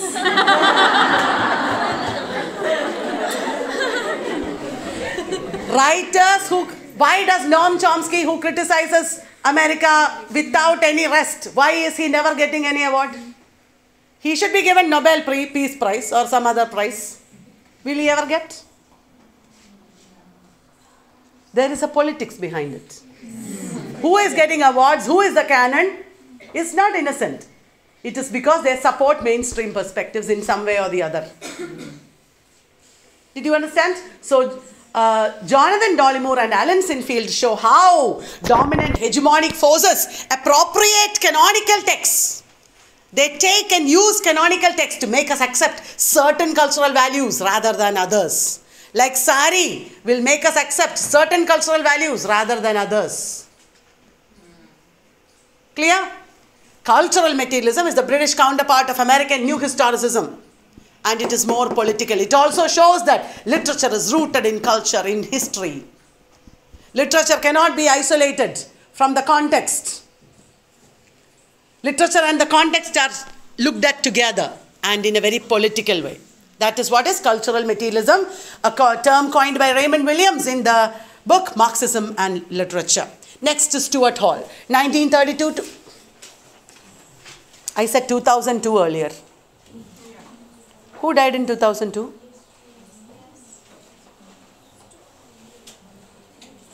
Somebody died in 2002. Who died? I don't know. I was under the impression he died in 2002. I'm so sorry. He lived some more time. 12 years more. Will you check online and see when he died? I need to know when he died. Uh, 1932 to 2014. Correct. So somebody else it is who died in 2002. it is there somewhere. We'll see. So Stuart Hall was a Marxist sociologist and cultural theorist born in Kingston in colonial Jamaica. So recently he died. Huh? He, uh, wa- he was born in colonial Jamaica. And as a man who grew up in Jamaica, he had an his family was uh, aspiring to be like whites. They wanted more education. His mother was not fully black; she was half black only. The family was trying to transcend their blackness, the limitations of their blackness. And Stuart Hall had an ambivalent relationship with the identity of his aspiring, privileged black family. Did you understand? He was not like that. He embraced his blackness more truthfully. He arrived in Oxford, Oxford on a Rhodes Scholarship in 1951 and he had ambivalent feelings for Britain also. He liked Britain and enjoyed being there, etc., but at the same time questioned Britain's racism. And uh, he embraced his blackness. I told you already, he was the founder of the New Left Review. He became director of CCCS. Ayo, so many years I've given. you check it out. I'm so bad with some years. 1971, I said earlier. Now I'm saying 74. I had to edit it. I'm so sorry. I, this is because uh, p- p- part of the time I was typing in all these things from my notes, etc., in 3 o'clock in the morning. When 71 and 74 made no difference. I have to sit down and study the years. I'm so bad at it. Um, big mistake. So he became director of CCCS, okay, and esta- helped established cultural studies. He focused on popular, low status cultural forms and traced in them the interweaving of culture, power, and politics. I don't have to explain. He looked at the cultural forms and how culture, power, and politics are interwoven in them. Did you know that there is no single work by Stuart Hall? Stuart Hall always wrote in collaboration with others or edited other people's works. It is so amazing. As if he does not exist as an individual but in relationship with other scholars and other blacks. Did you understand? He embraced a collaborative identity. It is amazing. And Stuart Hall in 79 became the professor of sociology at Open University. Open University is where people who cannot who could not study in conventional regular system went public you know like distance education the people who either failed in uh, traditional education or for some reason who could not go there. So they were all the marginal people in the open university. He loved working for them working with them. He was delighted to reach out to those who couldn't survive in the conventional educational system. Are you able to follow? And stuart hall at this time uh, wrote wrote against what he called thatcherism. Margaret thatcher the conservative uh, politician had become the prime minister of England at that time and he wrote against the authoritarian populism of Margaret Thatcher. Authoritarian populism means what? Populism means uh, going by popular demand rather than truth and justice. Rather than do what is right, rather than do what is just and truthful. Going, our politics today is populist we know that it is wrong to do certain things. The government should not do certain things. But emotionally, we want it. we, and government also does it, even though it is wrong. All governments are like that. Trump's government is like that. Go, postmodern politics is populist. That is going by public demand, going by the emotions of the public rather than what is just and truthful and uh, right. Did you understand? Margaret Thatcher was like that. He wrote against it. In the 1990s, he wrote against Britain's racism. After his university career ended, he collaborated with a lot of young artists and filmmakers, explored the politics of black subjectivity, and had a new lease of intellectual life. He was a very brilliant thinker. As I told you, he led to a crop of black thinkers emerging like Paul Gilroy, Angela McRobbie. Remember, I told you? Uh, those people who came after Stuart Hall uh, established a black aesthetics and a black critical tradition in England. One important theory of Stuart Hall is the model of communication that he uh, pro- proposed in 1973. For the first time, he laid the foundation of a cultural understanding of communication all these things will look easy for you because I have already explained all these things. Communication is not just speaking and exchanging information. Communication is rooted in culture.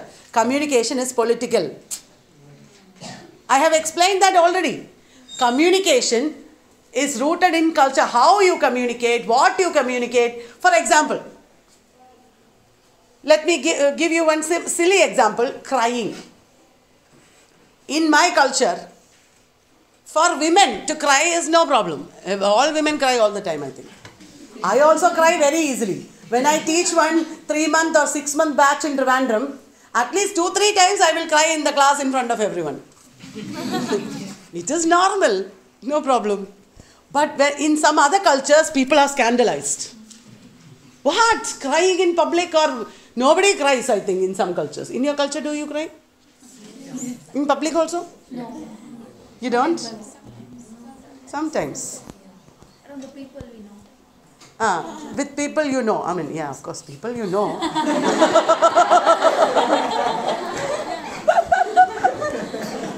For example, will you give a speech here and then break into tears? I can do that. You will control? Hmm, I don't control. okay, it's a challenge, okay? Uh, at the end of the day, I will give a speech, you also give a speech, let us see who will cry.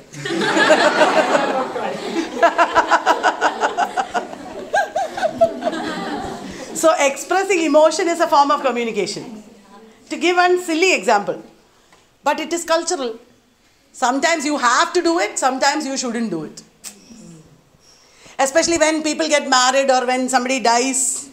In some culture, in for example, in uh, in some Christian communities, when a relative or somebody in the family dies, you should not cry. Because you have to pray and you have to praise god because that soul has been saved and taken in in uh, i remember when i was a child i went to one one of my very strict christian she is her father died. And i went to her house. I noticed that her mother herself nobody is crying there. Everybody is praying and singing in my culture if somebody dies nobody sings they were all singing prayers. It was a big surprise for a child. I was a child. And then I stood there, and because she is my close friend, I started crying a little bit because I, because I wondered how it will be when a father dies. I felt so sad and I started crying. And then one of their relatives came and told me, You should not cry. It is an insult. They explained to me. It is an in- insult to the departed soul. The soul has joined God, and we should not cry. We should praise God. We should be happy that. Uh, so different from my culture. My culture, it doesn't. It is not like that. Did you understand what I'm saying? Yes. So. I, I, I just gave a cult thing, uh, an example that we can all uh, relate to. But look at magazines, look at television news, Television news in India is very different from television news in BBC or CNN. Because there are cultural differences. How people look at news is different. Did you understand? So, model of communication laid the foundations of a cultural understanding of communication. Communication is not a neutral thing.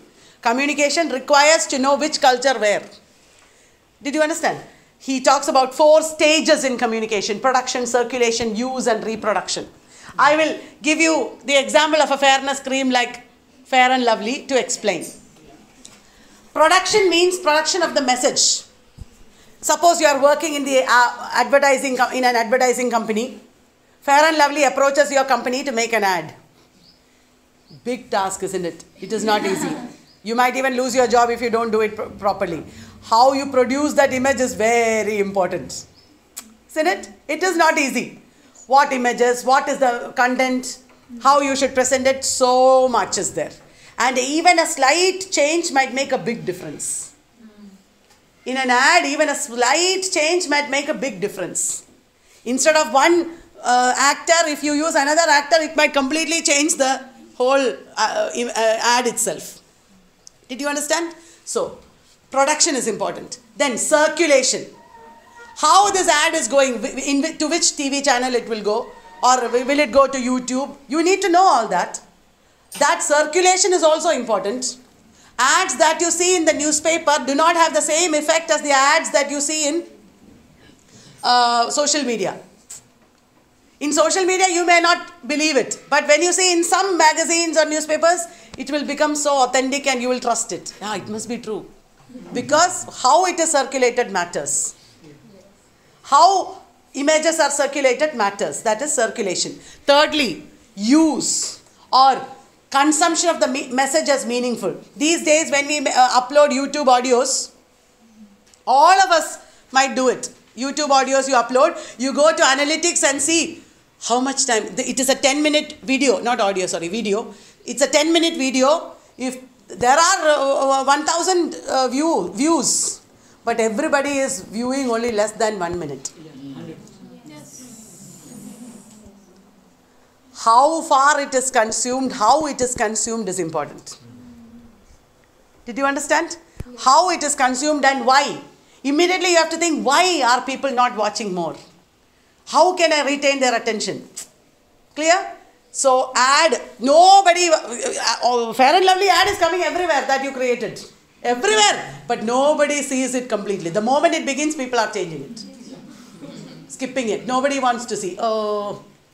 Fourthly, the reproduction or the effect of the image. How many people buy Fair and Lovely after seeing your ad? Does the ad have any effect? The effect of the message leading to action. I don't, I, I'm not a producer of any product like that, but when I, when me or sir or you, when we organize a program, when we put up an image uh, advertising a uh, workshop or an event that we are organizing, we are all concerned with all this. Suppose you have a you are conducting competitions in your department. You want people from other departments to come. The image is produced well, it is circulated well, people are all seeing, but nobody came. See? So we are all concerned with this. It is not about some company alone. Then Stuart Hall also talks about encoding and decoding. It is part of his writings on communication theory and reception theory. Encoding is the production of the message using verbal and non-verbal symbols. And decoding is the negotiation of the receiver with the text based on his or her knowledge, cultural background and experiences. Again, if you take Fair and Lovely ad, uh, encoding is how the meanings are put into the message. Sometimes some meanings are directly put. Some, for example, uh, I am reminded of a Malayalam ad for curry powder.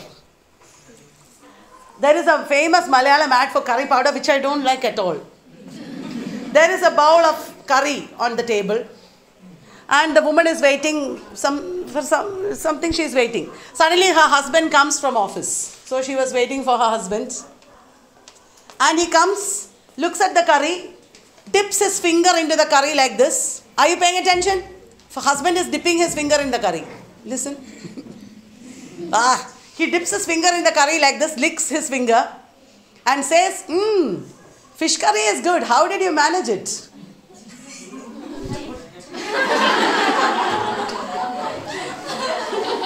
he says in Malayalam, fish curry is good. How did you, obviously, very young people, newly married must be. How did you manage it? And the girl doesn't say anything. Eastern curry powder. this is the ad. I showed you the ad now. This was the ad. How meanings are put into the message. Sometimes meanings are directly put. Some, if you want to make good fish curry, use Eastern curry powder. If you use Eastern curry powder, everybody will like, even your husband will like your curry. that is the denotation. The, but there are other layers of encoding. Other meanings are also there. Like wives should try to please their husbands by making good curry. That wives are the people who, who cook curry. That uh, many young women these days do not know how to cook. They will have to use Eastern curry powder, etc. Very care, carefully, the people should make these ads. Uh, carelessly, if some of the uh, you know connoted meanings or deep meanings become surface meanings, we won't like it. Some meanings should remain very subtle. Some meanings should remain very superficial and powerful and direct. Isn't it? In an advertisement, if the meanings that are supposed to be subtle, that subtle meaning should be there. We can't show a man as cooking curry. If we, we show, okay, husband is making curry, some, but these days we have that also. Rarely on one Sunday, husband cooks curry with Eastern curry powder. That also can be add. But imagine this advertisement. Husband has made curry, he is waiting anxiously for wife. wife comes. Oh, this is not like the curry you make every day. Today it is good. Every day it is so bad. How did you manage? Wife is asking husband. And husband said, I bought Eastern curry powder. You might laugh at it, even, but you don't feel like buying. Something is disturbing. It is not what we expect, even we feminists. Even we feminists don't want that curry powder. Did you understand what I mean? Yes. So it is very carefully that you should encode text with meaning. It is like writing a love letter or uh, email or whatever.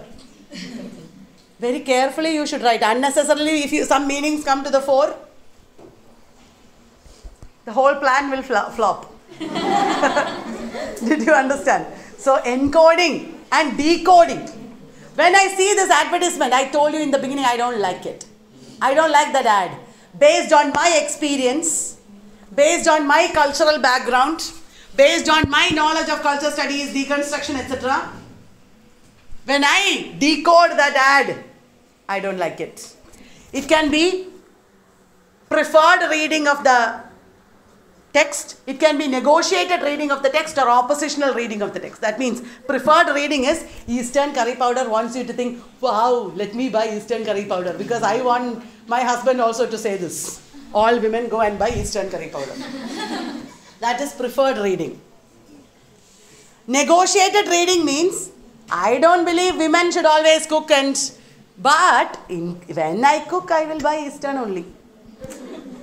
I don't accept it exactly as they give me, negotiated, but still I accept most of what they say. That is negotiated reading. Mine is oppositional reading. How dare they show this? I will never buy Eastern curry powder. that is also one kind of reading. That is oppositional reading. Did you understand? Who said all this? Stuart Hall said this. This is about encoding and decoding. Now, why is all this important? It is not just fun. It is not for fun we are saying all these things.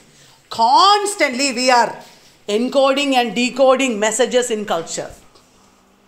When we post something in social media, we are encoding. People are decoding it. Lot of things happen in culture because of the ways in which we decode it. The government did something. People did not protest. They thought encoding is correct, there is preferred reading. The government did second thing. People did not protest. They thought, okay, we are right. Encoding is going well. The government did third thing. Everybody protested. Probably they were decoding in a different way all the time. Many times rebellions and subculture movements, protest movements, etc., emerge because of decoding. Did you understand what I am saying? Decoding is very important in culture, encoding also. This is how we communicate with people, this is how cultural formations happen. Dick Hebdige, who has written the book Subculture, has said that subcultures arise when dominant cultures are decoded in new ways. Dominant culture says something, but people take it in a different way. And then subculture movements might come into being. Did you understand? So, uh, for example, in the Victorian period, all women wore skirts like this with hook. There were wire hoops that they wore on their waist. On top of it, 6 to 12 skirts. Have you seen our Kathakali, Kerala? Yes. Uh, like that, they wore skirts. Like this, they had to walk. And uh, these women who wore these skirts could not go out of their houses because the skirt is getting stuck here.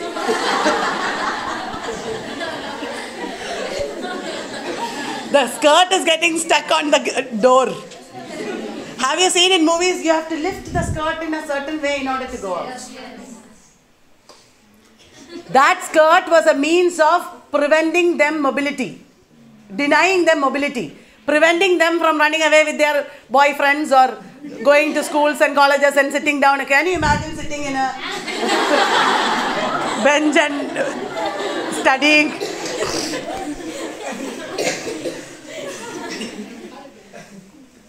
Some women in the Victorian period tried to wear com more comfortable blouses and trousers and more comfortable clothes they began to wear in the Victorian period. This was called rational dress movement.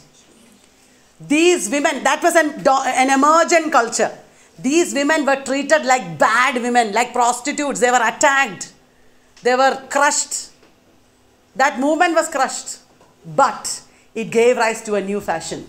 In the Edwardian period, even though those women were treated very badly, it gave rise to the columnar silhouette. Before that, it was the inverted umbrella silhouette.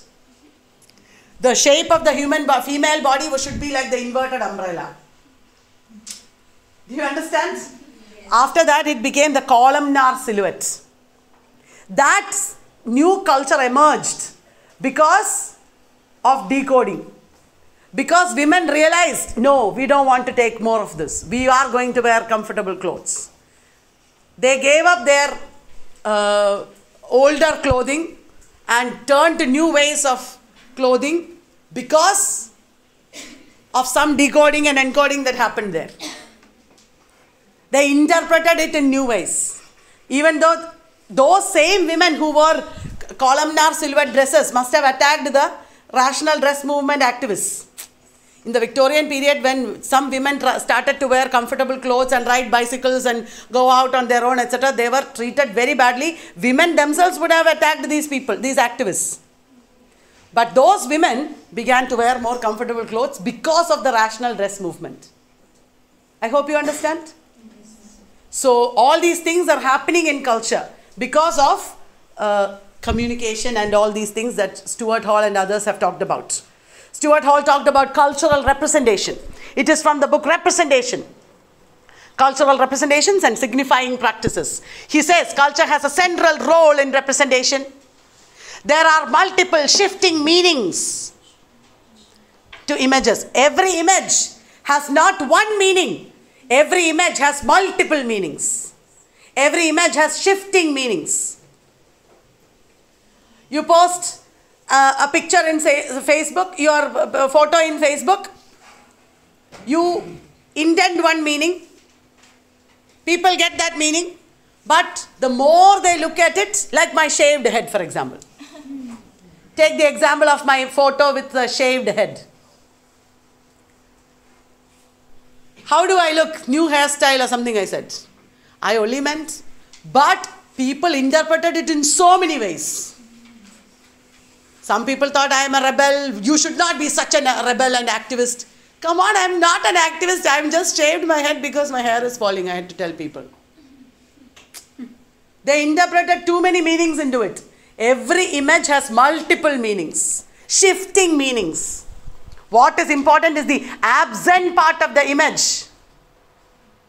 It is equally or more important than the present part. What the image doesn't say the absent part, reading between the lines, you say, that is more important than Roland Barthes has talked about images at length like this. Roland Barthes' interpretation of images has been very influential on cultural studies. And power structures, however, whatever we say, power structures do not want multiple meanings. Power structures attempt to fix meanings, as in stereotypes. Power structures attempt to fix meanings. One particular dress referring to one culture or religion or community means bad. One uh, dress referring to one community means rebel.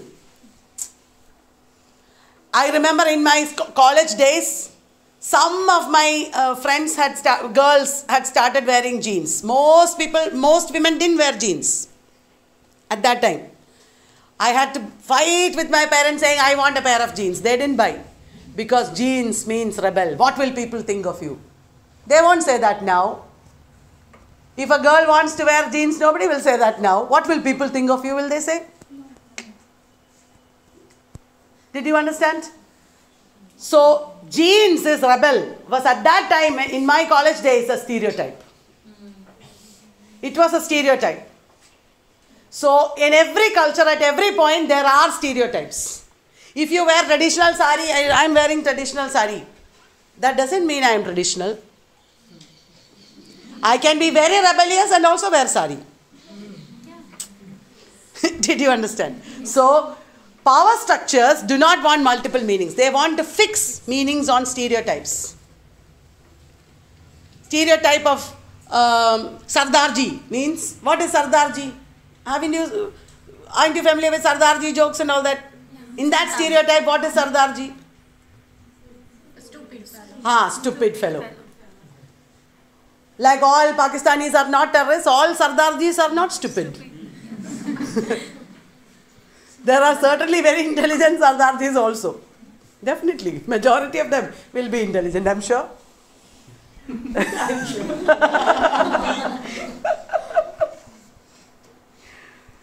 so, stereotypes, the Westerners, like Orientalism, like Edward Said's, Orientalism. Uh, we fix some communities to be like that. Like at the beginning when I came, I said, I am from Kerala, I am going to teach you culture studies. Do not attack me for being a Marxist.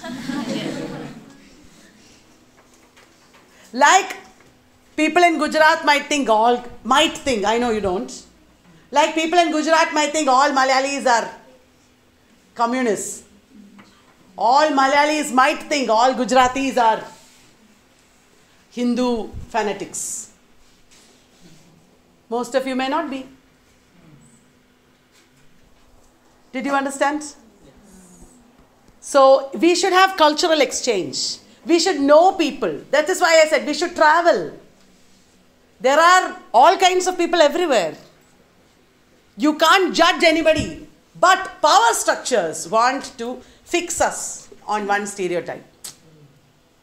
Like Orientalism. Where Westerners wanted to think that, wanted us to also to think that all Easterners are lazy, they are poor, they are criminals, they are violent, they are rapists, they are murderers. While all Easterners are not like that. It has nothing to do with our reality. We think all Americans, after we watch Hollywood movies, we think all Americans are powerful. They uh, shoot with guns and they drive uh, SUVs and uh, you know fight with people, and they are all powerful, rich. There are so many Americans that I know who don't even have an email. They don't know. They, I, I know people who do not have an email or do not check their email. They are not so technologically advanced, all of them. There are Americans who are struggling for food, obviously. They are stereotypes.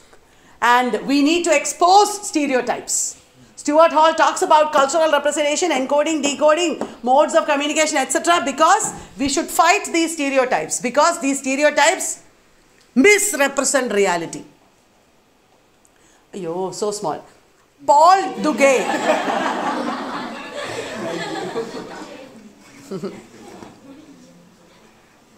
You're laughing at my cultural artifacts.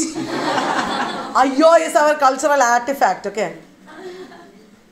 It has historical, economic, political, all these contexts. Ah, I don't know how to forget it. Hmm. Paul du Gay, Stuart Hall, and others introduced the concept of circuit of culture in a study of the Sony Walkman cassette player. There was a book that they were writing about the Sony Walkman cassette player. Stuart Hall was only one of the theorists. A group of people were working on it and they talked about the concept of circuit of culture, a concept that connects communication and capitalism.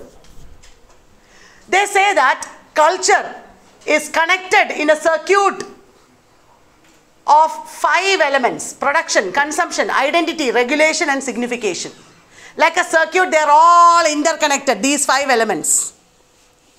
Take, for example, a movie that creates a nationalistic image of India. Take a movie like Uri. Uri. Uh, Uri. Which creates a certain image of India. You understand? Now let us see what it is. One is, we have already talked about production before. Production is making the cultural products. It can be the TV, the, the movie, or it can also be our clothes, our festivals, our TV shows. Reproducing them also, producing and reproducing them. For example, we have a festival in Gujarat. You how do you produce that festival? What are the things you buy? How do you celebrate it? And how do you represent it in pictures, in the social media? All that is part of production. And how and why production happens. In Kerala, we have Onam.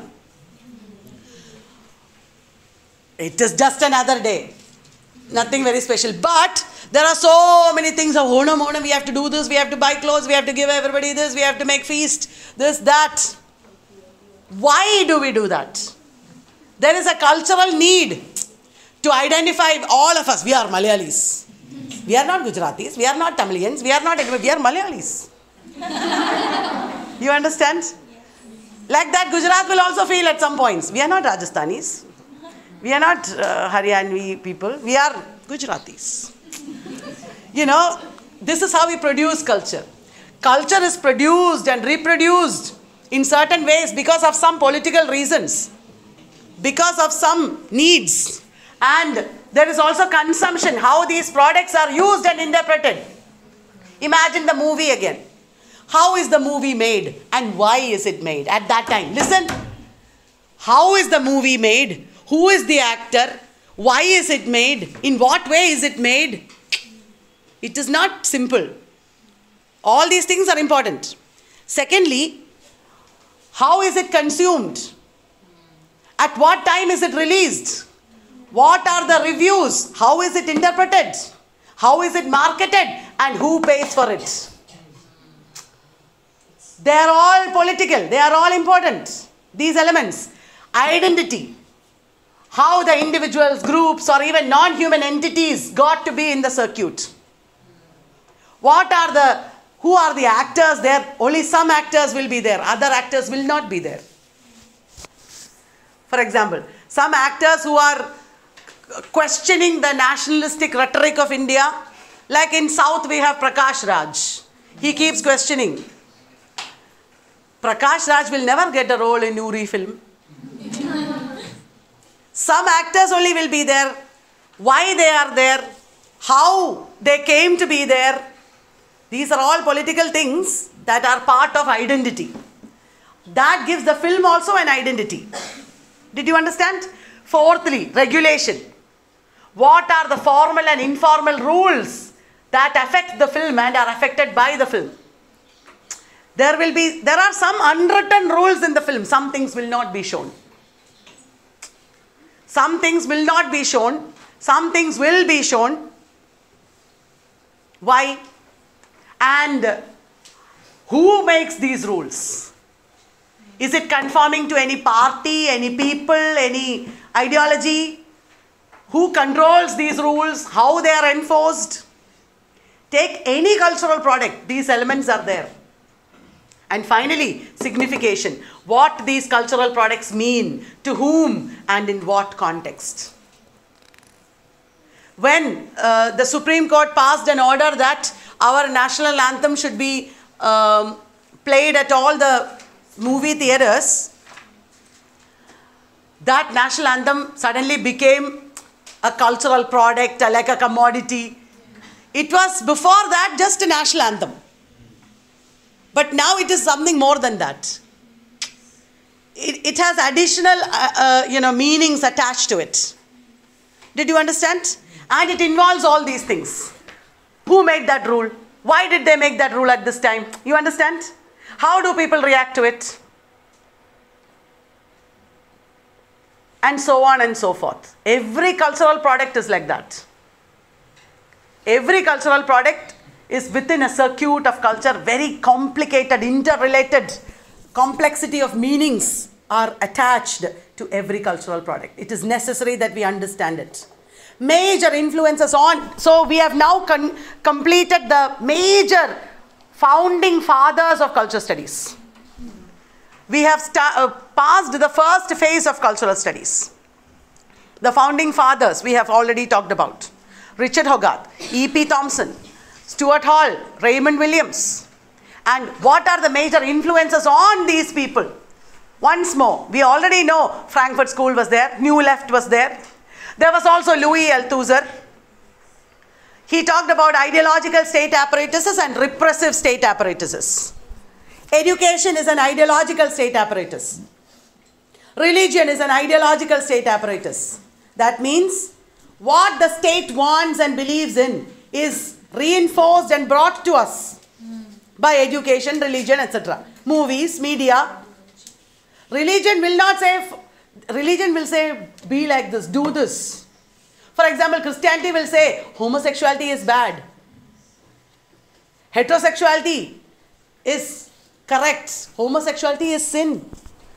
If you are against Christianity, if you continue to be homosexual, Christianity does not have the right to attack you or kill you or put you in prison or anything. But it will corrupt our mind. To it will disturb us here. Education also. It will teach us certain things against certain other things. Education, religion, etc., will try to manipulate us, will try to change us. If you are normal within double quotes, ordinary people who are easily conditioned by whatever you know and hear, you don't rebel, then no problem. If you are different For example, if you dare to be homosexual, for one example I'm saying, then the problem will start. The ideological state apparatuses will turn you into an outcast. You, you cannot belong. They will continually disturb you. For example, women who normally get married and look after their parent, uh, father and uh, sorry, parents as well as husband and children, do all the cooking and cleaning at home, do some job if they can, which will always be less than the husband's job. Women like that have no problem. They are ideal women.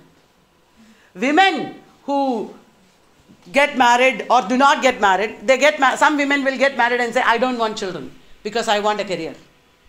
Is she a woman? One, some women will uh, get married and have children and say, I can't bring up my children. They have to be taken care of by somebody else. I have to go work. Is she a mother? Did you understand? Those women will get into trouble. You know, I, I now I rebelled and I have won my case. Nobody questions me now. But I remember my son was one and a half years old. My son was nine months old when my husband got a scholarship to go to Canada. Listen to this. My husband, my uh, husband went to Canada when our son was nine months old. Everybody was happy. He got the scholarship. Everybody was happy. They gave him one send off and sent him away. Family. Wow, man, he went. No problem. Wife and child will remain at home, parents will look after. When my son was one and a half years old, I got the same scholarship. Many people told me, You can't go. Your son is only one and a half years old. I said, So what? My parents are there. My husband is there. I, I have the opportunity to go and do PhD there. I want to go. Many people said, You can't go. And they threatened me, Your child will forget you. Not in this way, very subtle ways, very loving ways. Advice, and you know, it actually mean to hurt and prevent me from going. I thought, why? you understand? Why? Did nobody say, tell my husband, you can't go, you have a wife and child? Nobody told him. Everybody said, go, go, go. To me, they are saying, you can't go. I went. My parents looked after my son, nothing happened. Only for less than one year I was there. I went. And when I came back, I, I was so shocked. My friends, relatives, neighbors, when they met me again after months, when I returned, they were asking me questions like, Does your son remember you?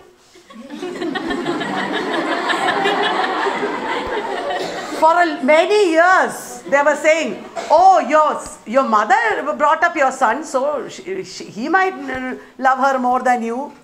She brought up my son for a few months, come on. And she says, the grandmother, let him love her. I don't mind. They are saying this as if you, unwoman, how could you do this to your son? Such a primitive thinking. Again, this was uh, 15 years ago, 20, uh, 18 years ago. Did you understand? I am shocked that this is none of their concern. Yeah, for a, for, he didn't forget me, but he was a little, I was also a little, I mean, too sensitive. Will he like it? Because I don't know. How, how does he want it? Will he like it? I was, because I didn't know him and he didn't know me. For a few days, probably it was like that. After that, nothing happened. He forgot about. When, he, when I went also, for the first two days or something, he remembered. After that, he played and when I uh, made call to him, etc., he didn't cry or anything. He, okay, mother is somewhere else. Society is not like that. Society never forgets. So, society is so bothered. What will happen? Because she left him and went. Ideological state apparatuses teach you to be normal, to be ordinary, to conform. They won't leave you. They will hurt you here. Whereas in the brain, whereas repressive state apparatuses are like the police, the army, the judiciary. They don't hurt you here, they hurt your body only. They will imprison you or punish you physically. You know. So, Althusser talks about it. And he says ideology addresses you, makes a subject of you. Hey, stop talking. When the teacher says, all students are interpellated, they feel like I, the teacher is addressing me. Oh, I, I won't talk. I didn't talk. like that, you, you, you feel. A man and a woman are walking on the street. Men and women are walking on the street. Somebody makes a cat call, whistle. Will the men think, oh, somebody is calling me? will the men think or will the women think? Why do the men not think? You understand? The women are interpellated. Yes. Patriarchy. I am prone to be attractive to some man, so they might call whistle on me. Don't laugh, these days men also.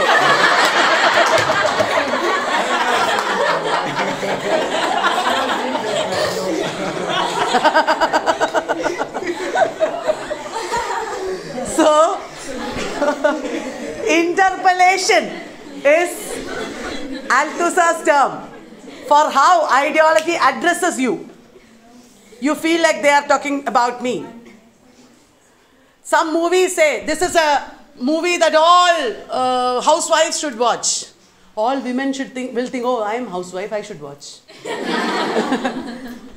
Interpellation. That means ideology is making a subject of you. Did you understand? Antonio Gramsci talked about hegemony. Hegemony means domination of one over the other, but the subjugated party wants to be dominated. That is also there. Hegemony creates consent. Like imagine a husband beating a wife, his wife. There are husbands who beat their wives. Especially if the wife is uneducated, etc.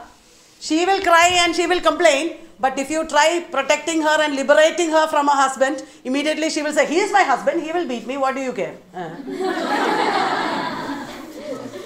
she, it's like she wants to be beaten. That makes her more, gives her more fulfillment as a wife or something.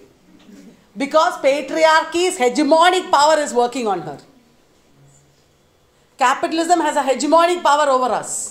Even though we know we should not, we don't want all this, we still want it. Did you understand? And uh, Roland Barthes talks about everything being a text. Every uh, cultural artifact or process is actually a text. Why are you wearing these clothes and not some other clothes? Why are you eating this food and not some other food? It is a text. Yesterday, I landed in Ahmedabad and one um, uh, driver, Dilip Barad sir, sent to get me. He asked me, he took me to Gallops Yes. and he said, What do you want to eat? I said, Gujarati food. and we, I had a Gujarati thali. Why did I say Gujarati food? Why did not? uh, Why I didn't say KFC or something else, or it is not available here? Whatever is available here, some other Western food. Why didn't I say? Why I chose Gujarati food is a text. Did you understand? It has some cultural, political meanings. Did you understand? Remember, it is the same me who went to Canada. I said, I want Asian food, thinking it is Malayali food. Many times when I go to some other places, my friends will say, I will take you to some South Indian restaurant. I said, No way, no. South Indian restaurant, I will go when I go, I will eat from when I go to South India. Here, I want to eat your food only. Because of this, I don't get there, I say. So that is a text. Because in that text, there is a play of meanings. Did you understand? And Michel Foucault, oh yo, now, uh, how many of you want me to teach Foucault? Not now, I mean, generally asking.